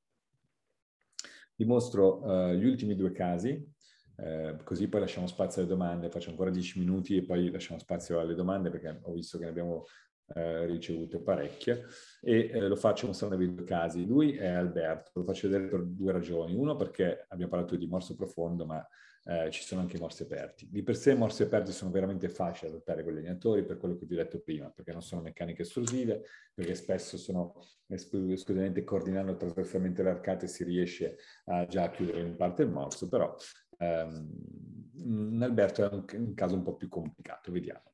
Eh, Alberto viene perché non gli piace il suo sorriso, eh, dice che i studenti sembrano essere buttati a caso nella sua bocca, in effetti presenta una occlusione importante, perché dal punto di vista antroposteriore è una perfetta prima classe eh, bilaterale, però ha un open bite, ok, di circa 2 mm, abbiamo un cross bite di 16 e 15, anche leggermente 14, quindi una tendenza di cross bite nel settore eh, destro, Abbiamo affollamento inferiore importante per i canini che sono davanti rispetto agli incisivi e un affollamento infer- superiore importante, quindi affollamento di entrambe le arcate. Questa è la panoramica, ok? E questa è la laterale, ci fa vedere che il paziente ha una prima classe scheletrica, gli incisivi sono biprotrusi e, bi- e proclinati, cioè gli incisivi sono proclinati e protrusi, ok? E il paziente tende a essere iperdivergente, con tendenza all'open bite. Okay? In questo caso decido di adattare Alberto in maniera estrattiva. Questo non perché il mezzo terapeutico è l'allenatore, sia chiaro, io decido prima cosa fare, in questo caso decido appunto di trattare in maniera estrattiva poi a quel punto se lui lo vuole fare con gli allenatori, va bene, lo faremo con gli allenatori, Ovviamente i casi con gli allenatori sono i, più, i casi estativi degli allenatori sono i più difficili da trattare, quindi non fatelo a casa se non avete almeno un po' di esperienza, perché eh, se scegliete il caso sbagliato, non scegliete il caso giusto, rischiate di non uscirne più. Eh, se però dovesse decidere di utilizzare, fare dei casi con le quattro stazioni premolari, eh, qualche consiglio ve lo voglio dare. Primo, non usate i ponti. I ponti che sono queste eh, strutture che dovrebbero ricordare o simulare la forma del dente dove ho tolto il dente. Il problema è che queste ehm, situazioni, queste forme ehm, non mh, come dire, contrastano la tendenza che i denti hanno, questo dente per esempio mentre lo spingo indietro perché lo spazio ha, a inclinarsi in uno spazio esattivo, perché non c'è plastica distale che contrasta il movimento. In questo caso invece se voi chiedete di non avere i ponti che li togliete, vi metteranno queste strutture che si prendono nome di bar, che sono estremamente più rigide e che eh, costruiscono hanno sostanzialmente una zona distale al dente che si deve muovere trasversalmente, facendo traslazione, in maniera da evitare un tipico eccessivo. Ovviamente il frog staging, cioè la stadiazione in movimento pochi denti alla volta, nei casi esattivi è un must, quindi io prima muovo un po' i canini, poi gli incisivi, poi un po' i canini, poi un po' gli incisivi, fino a quando avrò la, il completamento del movimento e devo usare degli attachment, anche in questo caso degli attachment rettangolari uh, verticali, non bisellati, perché mi aiutano ad avere quello che si chiama recovery uh, effect. E il setup sarà un setup di working setup, dove rispetto alla posizione finale la cosa che mi preoccupa di più è il tip, perché eh, io voglio ottenere un movimento corporeo, ma sicuramente avrò più tilt della corona nello spazio distrattivo, quindi come lavoro uh, creando un extra tip, okay? una posizione finale esasperata del tip, in maniera che durante tutto il movimento mas- le mascherine tendano a spingere di più indietro la radice della corona. Ehm, un po' di rifinitura, guardate lui era un morso aperto e comunque mi si è approfondito il morso perché qua, essendomi concentrato molto sul tip, non avevo fatto dell'overcorrection verticale e di torque, quindi ho dovuto farla poi in finitura in altri sette mesi, però in 23 mesi di terapia questo è il nuovo uh, sorriso di Alberto, un sorriso pieno, un sorriso non, che non sembra assettivo, no? Quando lui sorride non sembra per nulla uh, aver uh, subito un caso comunque essere trattato con le stazioni, è di mediana superiore perfettamente centrata, l'overbite e l'overjet sono perfetti, i denti in grano in maniera corretta e ho, come dire, risolto tutte le problematiche, ho risolto il crossbite sul lato destro, ho mantenuto la prima classe, ho risolto l'affollamento centrando le mediane e uh, quant'altro. la panoramica finale e la laterale finale. E questo è il confronto uh, tra il prima e il dopo. Concludo con questo caso, abbiamo parlato di seconde, affollamenti, seconde classi, morsi profondi, morsi aperti, finiamo con un caso uh, di terza classe, appunto perché poi ci sono tante domande. E, e il caso di terza classe è di questa ragazza, Fiven. Fiven è una paziente che viene a trovarmi perché non le piace il sorriso e, e sono l'ennesimo ortodontista che le dice che deve essere trattata in maniera eh, chirurgica, perché il trattamento più corretto di questa ragazza è un trattamento combinato ortodontico chirurgico, in quanto la malocclusione non è solo severa dal punto di vista dentale, guardate abbiamo una terza classe importante eh, bilaterale con una deviazione di linea mediana inferiore verso eh, sinistra di 3 mm, abbiamo il 12 e il 22 che sono in cross-bite anteriore, quindi su cui dovremo ragionare come lavorare. Abbiamo anche tantissimo affollamento sotto, cioè in pazienti di terza classe dove l'affollamento non posso risolverlo propinando gli incisivi, perché peggiorerei i rapporti di overjet negativi e ho 7 mm di affollamento. Guardate, un premolare in semi-impattato, due canini sono completamente troppo lingualizzati, cioè gli manca tantissimo uh, spazio. E un'altra cosa che non mi piaceva era questa uh, inclinazione degli incisivi inferiori. Questo uh, gli americani lo chiamano washboard effect, cioè se io uh, toccando con la, la gengiva sotto incisivi vedo il washboard è la tavola che i nostri nonni usavano per lavare i panni, no? Ho questo effetto vuol dire che il paziente ha un, in atto un estremo compenso dentale e le radici sono probabilmente fuori fuori o a ridosso della corticale. E questo era legato ovviamente alla famosa, alla forte e severa terza classe. L'unica cosa che mi poteva aiutare è che avevo un Bolton fortemente negativo, 3 mm, cioè fortemente alterato, 3 mm di um, eccesso inferiore che potevo strippare.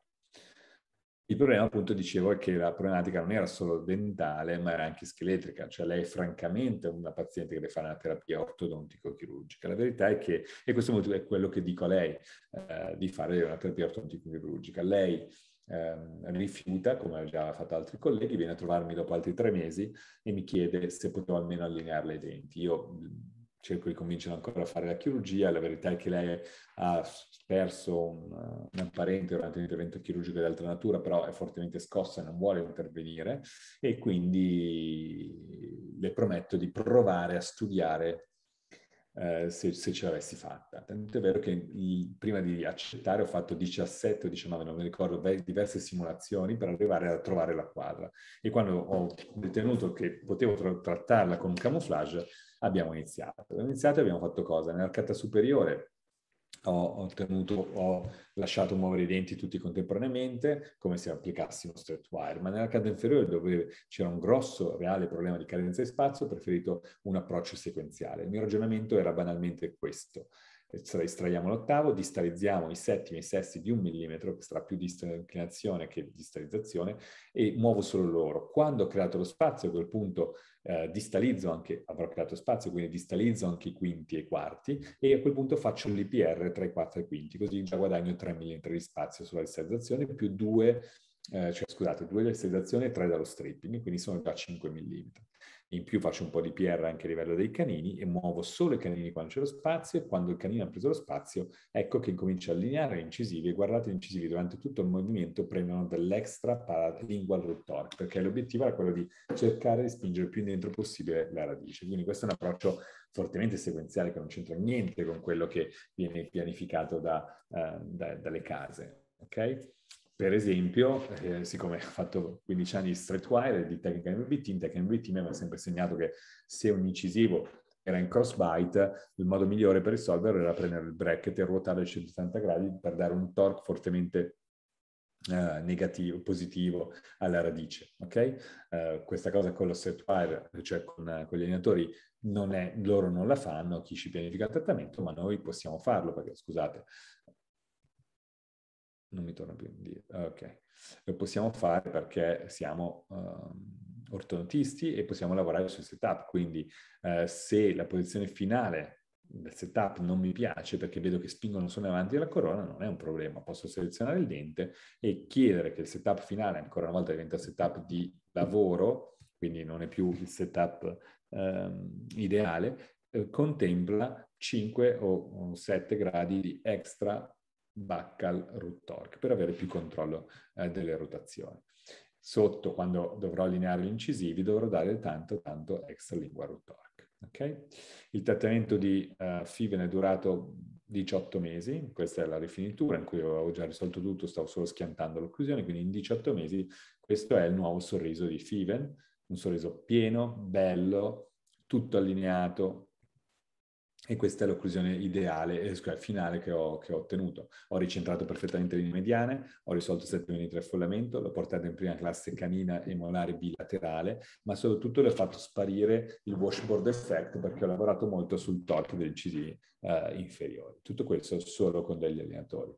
La panoramica finale, la laterale finale, ehm, scheleticamente era una terza classe, ovviamente rimane una terza classe, solo compensata, ma compensata in maniera eh, corretta, perché passare da quella situazione a questa, beh, secondo me è quello che dicevo a inizio terapia, eh, scusate, a inizio, a inizio lecture a lei ho cambiato la vita, io ho migliorato il sorriso, ma questa è proprio una sua testimonianza, le ho cambiato la confidenza che aveva in se stessa, l'autostima e le ho cambiato la vita, con trattamento neanche, tra l'altro, impegnativo dal punto di vista né della chirurgia, perché guardate la differenza tra il sorriso iniziale e il sorriso finale, ma guardate anche il profilo, sembra che ha fatto chirurgia. Questo perché, guardate il profilo, aveva un torque eccessivamente negativo dei settori degli incisivi inferiori, quindi la piega alla mentoniera non c'era e quindi quando la piega alla mentoniera non c'è, il pogonio viene percepito più in avanti, nel momento in cui io ricreo la piega alla mentoniera perché sposto dietro la radice, a parità di posizione il mento sembra leggermente, leggermente più indietro, nettamente più indietro. Questo è l'affollamento che ho risolto e questo è il washboard uh, effect, come abbiamo lavorato sul torque. Questo lo faccio vedere perché spesso un'altra delle critiche che fanno chi utilizza gli allineatori è che non siamo in grado di controllare il torque, anche qua potremmo parlarne ore, uh, se si sa come pianificare il torque è assolutamente, perfettamente uh, controllabile. E ehm, questa è il prima, eh, cioè il, scusate, no, è la, la, la sopraimposizione e con questo io direi che ho finito, ho cercato di mostrare una carrellata di classi, di casi delle varie classi nei, nei tre piani dello spazio e spero che vi sia piaciuto, rimango a disposizione per, per qualsiasi domanda.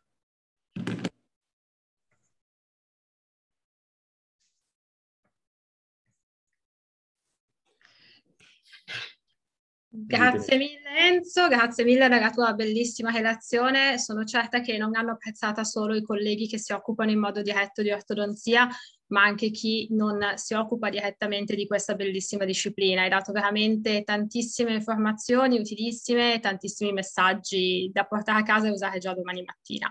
Quindi di questo grazie. Sono arrivate ovviamente moltissime domande, quindi io inizio a portele e magari ne nasceranno anche altrettante durante la nostra discussione. Innanzitutto un collega ci chiede se è possibile con gli allineatori risolvere un cross monolaterale in un paziente adulto, quindi un cross ad esempio di 14, 15 e 16, e se nel caso consigli di fare dei rialzi di masticazione. Allora, eh, io la, la, risposta per me è molto semplice. Tutto quello che puoi risolvere in maniera predicibile con le classiche apparecchiature che hai usato fino a ieri, che stai usando oggi, lo, lo, puoi risolvere con gli allenatori, perché non è il mezzo terapeutico che fa, eh, che dà il risultato, ma è, eh, come dire, è la diagnosi ancora una volta, no? Eh, però sì, cioè, oggi per esempio peccato perché i trasversali non hanno fatto vedere quasi niente, ma cross sì, assolutamente si possono risolvere. Cioè, se devo essere conciso la risposta è sì, poi come si fa? Bisogna fare ipercorrezione trasversale, bisogna tenere in considerazione che ogni volta che si espande l'arca da sopra, eh, soprattutto quando è monolaterale, bisogna dare dell'extra back arrow torque eh, nei settori lato posteriori, se no si rischia solo di rompere contatto. Eh, si devono utilizzare elastici a tanto quanto usavamo nello straight wire, quindi ci sono tante cose che poi vanno pianificate, però eh, se la domanda è ho casi che mm, sì, assolutamente senza, senza, problemi, senza problemi. Ok, ti ringrazio.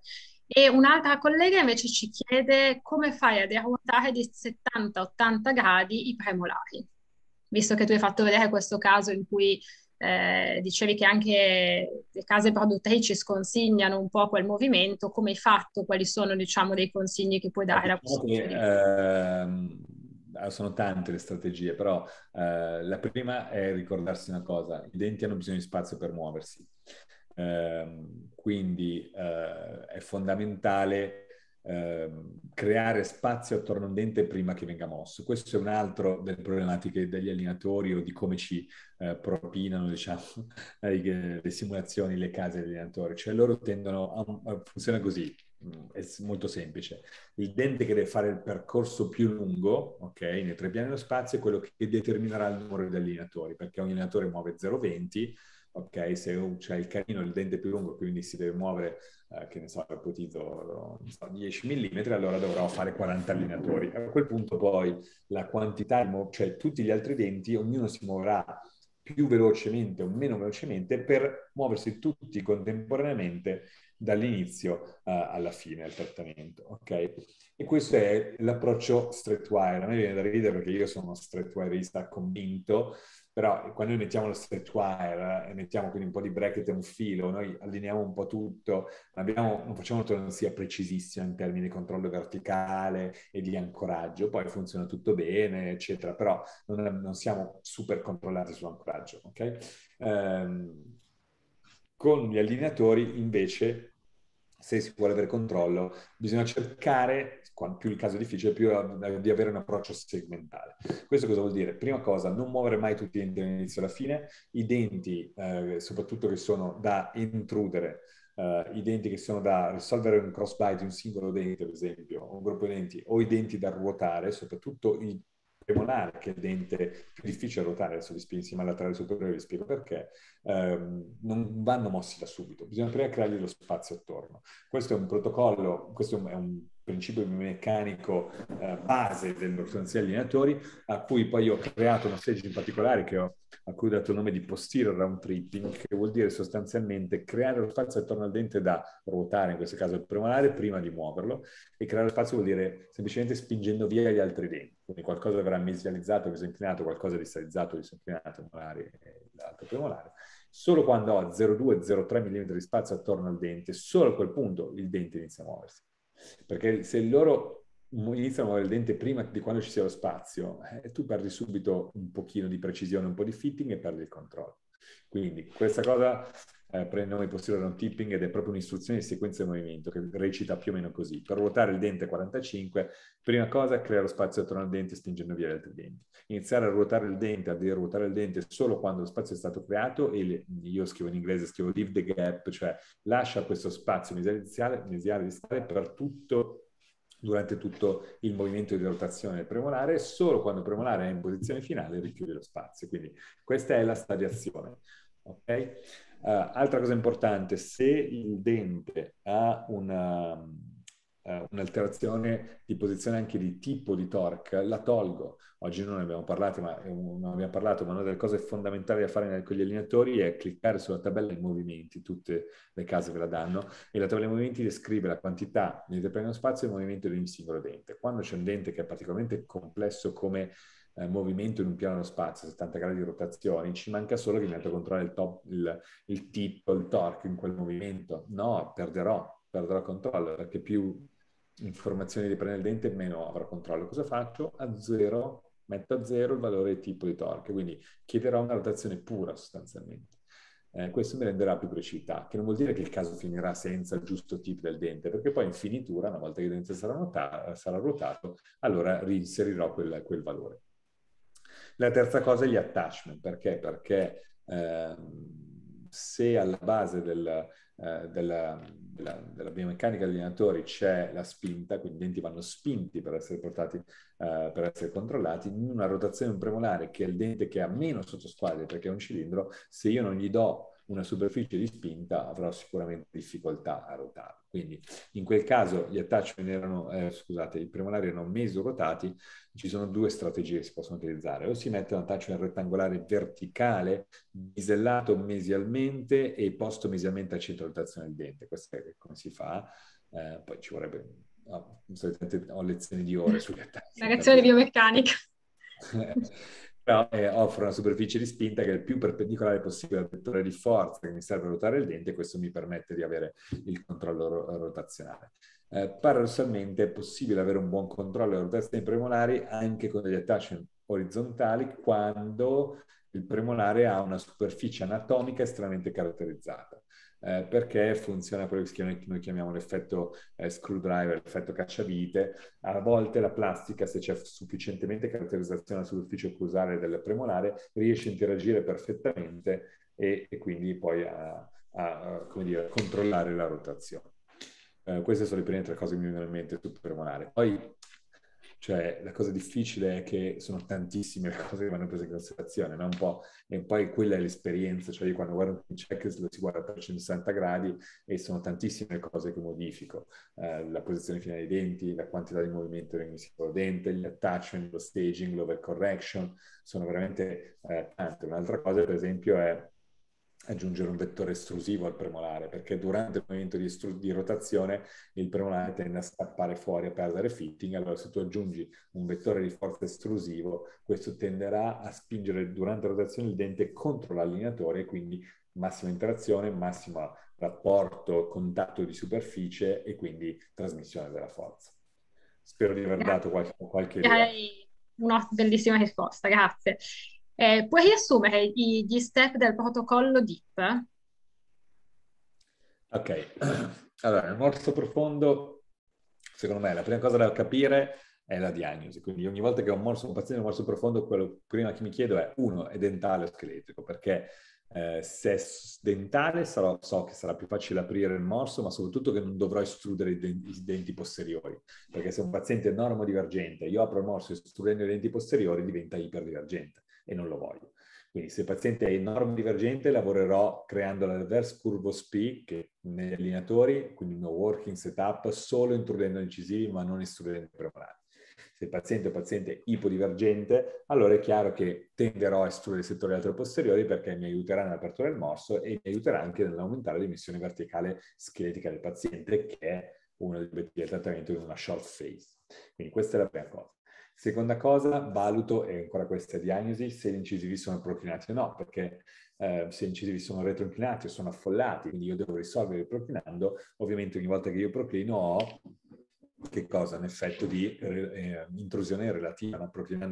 abbiamo intrusione relativa e quindi sarà più facile risolvere eh, il morso profondo. Terza cosa, valuto l'exposure degli incisivi. Quindi eh, solitamente Emma, mamma Mississippi, incisivo a riposo, guardo quanto espone e a sorriso. E decido se il morso lo vorrò aprire solo lavorando sugli incisivi sotto, come quasi sempre succede, cioè solo sulla carta sotto, scusate, o anche sugli incisivi sopra. Eh, per rendere più predicibile eh, l'apertura del morso nella carta sotto c'è un problema. Ogni volta che gli incisivi vengono intrusi o comunque l'allenatore tende a tra, vuole intrudere incisivi, quindi spinge su incisivi, quello che succedeva, mi succedeva anche a me a tutti anni fa, era che la mascherina dopo un po' non calzava più e noi davamo sempre la colpa al paziente, come si fa sempre quando non c'è fitting. La prima cosa è colpa del paziente. La verità è che poi studiando si capisce che il problema non è quello, ma il problema è che non c'era ritenzione nei settori medi, quindi la mascherina voleva spingere incisivi, ovviamente gli incisivi facevano resistenza all'intrusione, niente mi dava sottosquadra nel settore premolari, quindi la mascherina scalzava. Allora le case madri cosa dicono? A questo punto vi diamo un po' di ritenzione con questi attacci ottimizzati. Questi attacci ottimizzati però non ti danno ritenzione o ne danno veramente poche. E quindi io li sostituisco con degli attachment angolari orizzontali che non rioriento, ma metto belli sottosquadrati quando ho bisogno solo di aumentare la ritenzione, perché se aumento la ritenzione, la tras- aumento la trasmissione a forza di incisivi. Ad ogni forza corrisponde alla forza di reazione, io l'annullo. Se invece voglio estrudere i premolari perché magari il paziente è ipodivergente, tendo allora a bisellarne un po' eh, gengivali in maniera da avere sia un sottosquadro ma anche una superficie di spinta estrusiva. E poi lo staging. Lo staging è fondamentale per l'apertura del morso, cioè invece di fare come lo set wire, che apro il morso tutto contemporaneamente, eh, copio un po' la tecnica di Barston degli anni 70, Ricketts, penso non sbagliare anni, penso 60-70, in cui veniva fatta un'intrusione di pochi denti alla volta. Prima solo i canini, un po' di allenatori, poi tengo fermi i canini e muovo gli incisivi, poi tengo fermi gli incisivi e muovo i canini. Quindi distribuisco uh, le, le forze, diciamo. Grazie mille. Ti faccio una domanda relativa a un caso, quello di Steven, che era una seconda classe prima vi- divisione, in collega dice se non ricordo male era anche una seconda classe scheletrica che hai trattato con distalizzazione sequenziale. Questo ci dice che la distalizzazione nell'arcata superiore con allineatori può essere fatta quindi anche in seconda classe scheletrica e seconda dentale e non solo in prima scheletrica e seconda dentale? Allora, uh, no, questo non lo dice, questo lo dico io, nel senso che, eh, sai, eh, sono sempre scelte terapeutiche che devi fare in base alla diagnosi. È chiaro che quando la problematica è scheletrica, l'obiettivo o la, l'indic- l'indicazione principale sarebbe il riequilibrio della componente scheletrica e quindi un paziente a fine crescita, la chirurgia, ma è anche chiaro che... Possiamo dire tutto quello che vogliamo, ma su 10 pazienti a cui proponiamo la chirurgia di avanzamento della mandibola è una cosa che manco percepiscono la retrusione mandibolare perché loro vedono solo incisioni avanti ed è veramente difficile salvo che non ci sia una, reale, una problematica estetica importante, ok? E quindi se dal punto di vista scheletrico io non posso correggere la malocclusione, e non la correggerò perché, eh, visto che Andrea che me lo chiede, che non sento da anni, ciao Andrea, eh, eravamo insieme all'università, eh, dicevo, se la problematica è scheletrica, ma scheletricamente non, non, ci posso lavorare, o non la tratto, ed è un'opzione di trattamento, o decidi di fare un camouflage.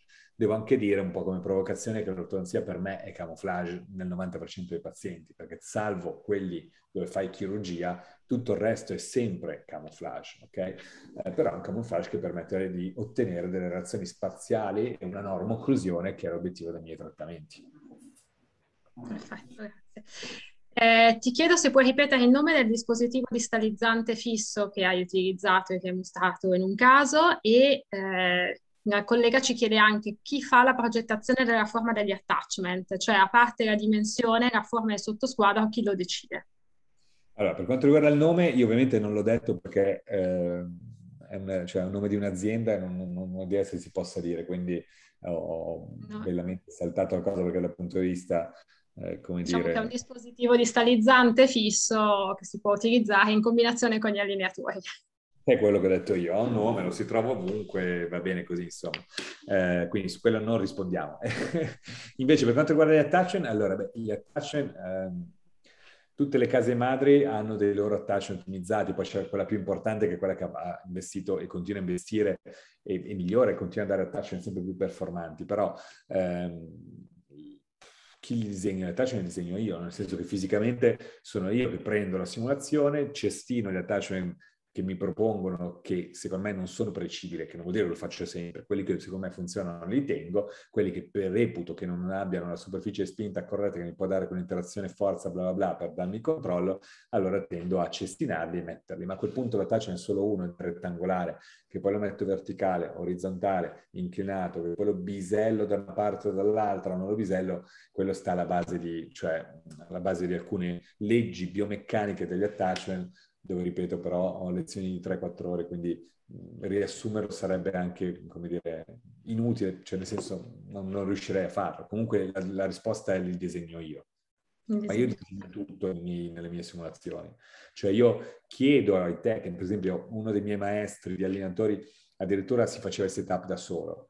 Eh, io invece li faccio fare tecnici perché loro li fanno sicuramente meglio di me, hanno più tempo innanzitutto di me, sono pagati per farlo, quindi io li faccio fare un bel setup ideale a loro.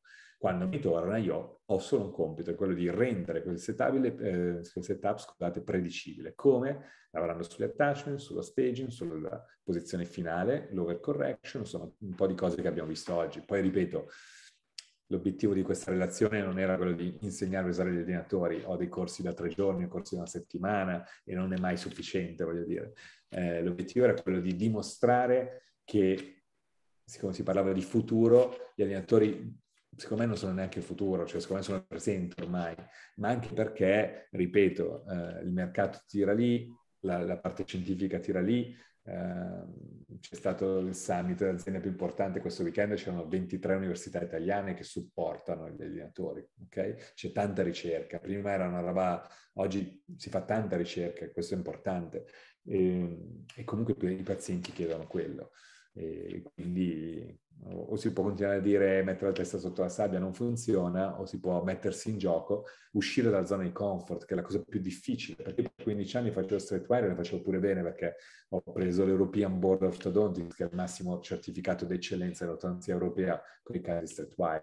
Ero il braccio destro di Mirabella, tenevo e tengo corsi di wire. Domani parto per Bucarest e andrò a fare uno dei miei corsi di wire però c'è stato un momento che in cui ho deciso di risfidarmi, rimettermi in gioco, ed è costa fatica perché uscire dalla, dalla zona di comfort costa fatica, eh, però è il bello della nostra, della nostra disciplina, cioè potersi, eh, non dico reinventare continuamente, ma mettersi in gioco, utilizzare dispositivi nuovi, è bello, se no la vita sarebbe eh, troppo monotona, la vita, la vita professionale. Grazie. Eh, più colleghi ci chiedono come ti comporti riguardo alla contenzione. Eh, mia collega dice che ha notato che utilizzi dei retainer fissi e se dopo questi retainer fissi ci sono delle mascherine passive di contenzione. Allora, a prescindere che io penso, anche qua è un po' una provocazione, che la stabilità non esista. Qualcuno dice che la stabilità in ortodonzia esiste solo dopo la morte. Eh, ma questo è normale perché anche chi non tratti i denti pian piano si, si spossano nella vita, ok? Quindi la stabilità secondo me è qualcosa di veramente difficile da, da trovare. Eh, se per stabilità si intende il perfetto mantenimento dell'allineamento. E quindi tutti i miei pazienti sono in contenzione. Eh, il problema vero del, degli allineatori rispetto allo straight wire è che con le apparecchiature fisse tu i denti li allini, controlli le rotazioni, le estrusioni, sono tutti i movimenti nei primi dieci mesi. Il paziente solitamente per altri 6, 8, 10 mesi ha degli archi in acciaio a pieno spessore dove i denti non si muovono più, si muovono eventualmente le radici e si coordinano le arcate, ma il grosso del movimento l'ha già tenuto e quindi quando poi sbandi il paziente, i denti, per esempio un problema di rotazione che se tu le rotazioni recidivano perché le fibre transeptali hanno bisogno di riorganizzarsi, ci mettono dai 6-8 mesi. Allora, se tu controlli la rotazione subito, e poi lasciano anche un acciaio per un altro anno, quando togli non avrai le fibre transeptali che tirano per portare indietro il dente. Eh, con gli allineatori un grosso problema è che i denti si muovono fino all'ultimo giorno, quindi tu se pianifichi una rotazione di 70 gradi, l'ultimo grado sarà l'ultima mascherina. E questa è una cosa che ho imparato un po' in spesa, nel senso che facevo dei casi bellissimi e poi tendevano un po' di più a recidivare rispetto al set wide. Perché? perché hanno bisogno di più stabilizzazione. Quindi oggi nel mio protocollo, una volta che eh, sono soddisfatto eh, della posizione finale, il paziente continuerà a portare degli allenatori passivi, ma sempre 22 ore al giorno per i successivi sei mesi, in cui andrò a scalare in media eh, un'ora ogni due settimane, fino ad arrivare poi a portarlo solo di notte, dalle 9 di sera alle 7 di mattina. Eh, per alcuni pazienti che preferiscono uh, non vedermi più, no scherzi, preferiscono non avere ancora una cosa troppo impegnativa, per l'utilizzo dei, dei, normali wire, cioè eh, splinkoli, gli incisivi o quel che è dietro e basta.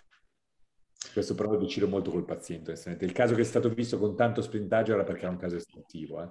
E nei casi estrattivi devi almeno aspettare un anno per l'organizzamento della papilla, il punto di contatto, eccetera. Quindi avrei dovuto sprintare almeno da 3 a 4, da 3 a 5, dove fatto c'è lo spazio estrattivo, gli ho messo quel, quel filo che toglierò fra un annetto. Ok, ti ringrazio. Una collega ci chiede se nella paziente di 47 anni bruxista con intrusione posteriore morso profondo anteriore e una protrusione molto accentuata degli incisivi superiori, eh, le estrusioni posteriori sono mh, predicibili con gli allineatori. Credo di aver, spero di aver interpretato bene la domanda. Uh, come dire, è veramente difficile rispondere a una domanda del genere perché eh, non riesco a immaginarmi il paziente, ma soprattutto non riesco a immaginarmi qual è la causa, perché eh, chiudendo gli occhi mi sembra di vedere una paziente che ha uno skid mandibolare, cioè che magari ha perso qualche contatto posteriore, la mandibola mm, è scivolata leggermente avanti, c'è un morso profondo, ha precontattato incisi sopra e questi sono profinati. Allora è chiaro che in quelle situazioni tu hai bisogno di eh, livellare la curva di SPEP prima di portare dietro gli incisivi. Eh, se ehm, se l'obiettivo è quello, infatti lei dice che ha perso dimensione posteriore, se l'obiettivo è quello, eh, gli allineatori possono controllare la verticalità esterna nei settori posteriori, ma probabilmente hai bisogno di elastici verticali da associare, che però avresti bisogno lo stesso anche con lo set wire, quindi cambia poco. Per quanto riguarda gli elastici non verticali, ma in questo caso di seconda classe, ci chiede un collega eh, di quante once sono e se il diametro è 5 sedicesimi. La risposta è che negli elastici nella seconda classe, io non l'ho detto, ma eh, la quantità di forza dipende uno dalla meccanica, cioè nella distalizzazione uso 6 once, nella distalizzazione sequenziale, nella distalizzazione segmentata o segmentale uso 8 once, nella, nella meccanica interarcata uso 4 once, eh, cioè è troppo legato alla meccanica. E questo proprio le once, quindi la forza. E la dimensione è legata semplicemente alla famosa legge che tu prendi un elastico, lo devi allungare tre volte per avere quella forza e se denti, il paziente ha denti troppo grossi, quindi stira troppo l'elastico, la forza è troppo alta, lo regolo. Quindi le dimensioni in termini proprio di un quarto, tre sedicesimi, cinque sedicesimi, le, le guardo sul paziente, insomma.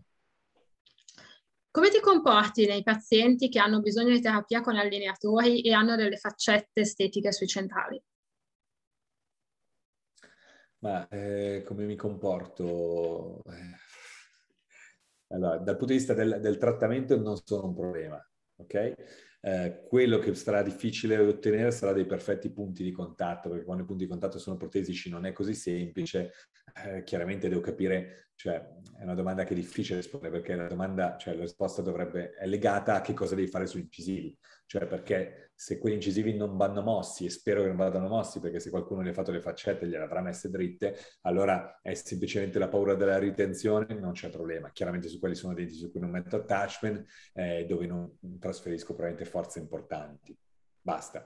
Eh, se invece... Eh, c'è un difetto estetico nella zona anteriore ci sono le faccette, allora vuol dire che è successo qualcosa di strano, allora è molto più probabile che muoverò tutto e poi farò rifare le faccette. Però è una roba che decido col paziente, cioè la domanda è il paziente vuole rifare le faccette, sì o no? C'è un problema di filtrazione, sì o no? Cioè è un po' difficile rispondere così. Ci puoi riassumere il protocollo della distalizzazione sequenziale? Oh mamma mia. Eh in modo sintetico. Diciamo. Eh, protocollo di sterilizzazione sequenziale. Cioè, il protocollo di sterilizzazione sequenziale è qualcosa veramente che ci vogliono due ore, quindi eh, semplicemente esistono vari modi, vari pattern di sterilizzazione in cui muovi un dente alla volta per lato, due denti alla volta, fino a tre denti alla volta e io lo faccio in base alla quantità di sterilizzazione che devo fare, più ne faccio, più vado, muovo meno denti ovviamente.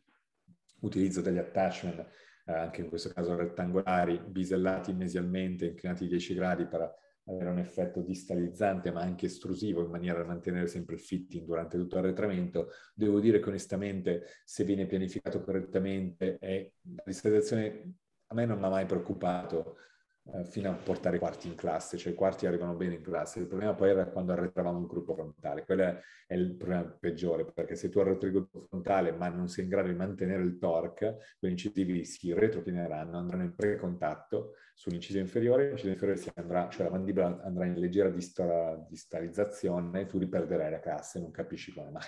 Ok? Quindi la sfida o la cosa più difficile è il controllo dell'arretramento del gruppo frontale, ma è sufficiente associare la retrusione dell'extra pata root torque, 10 gradi extra pata root torque dall'incisivo incisivo, aggiungere 1-2 mm di intrusione rispetto alla posizione finale, tanto non si intruderanno, e aggiungere 4 attachment rettangolari orizzontali bisellati gengivali.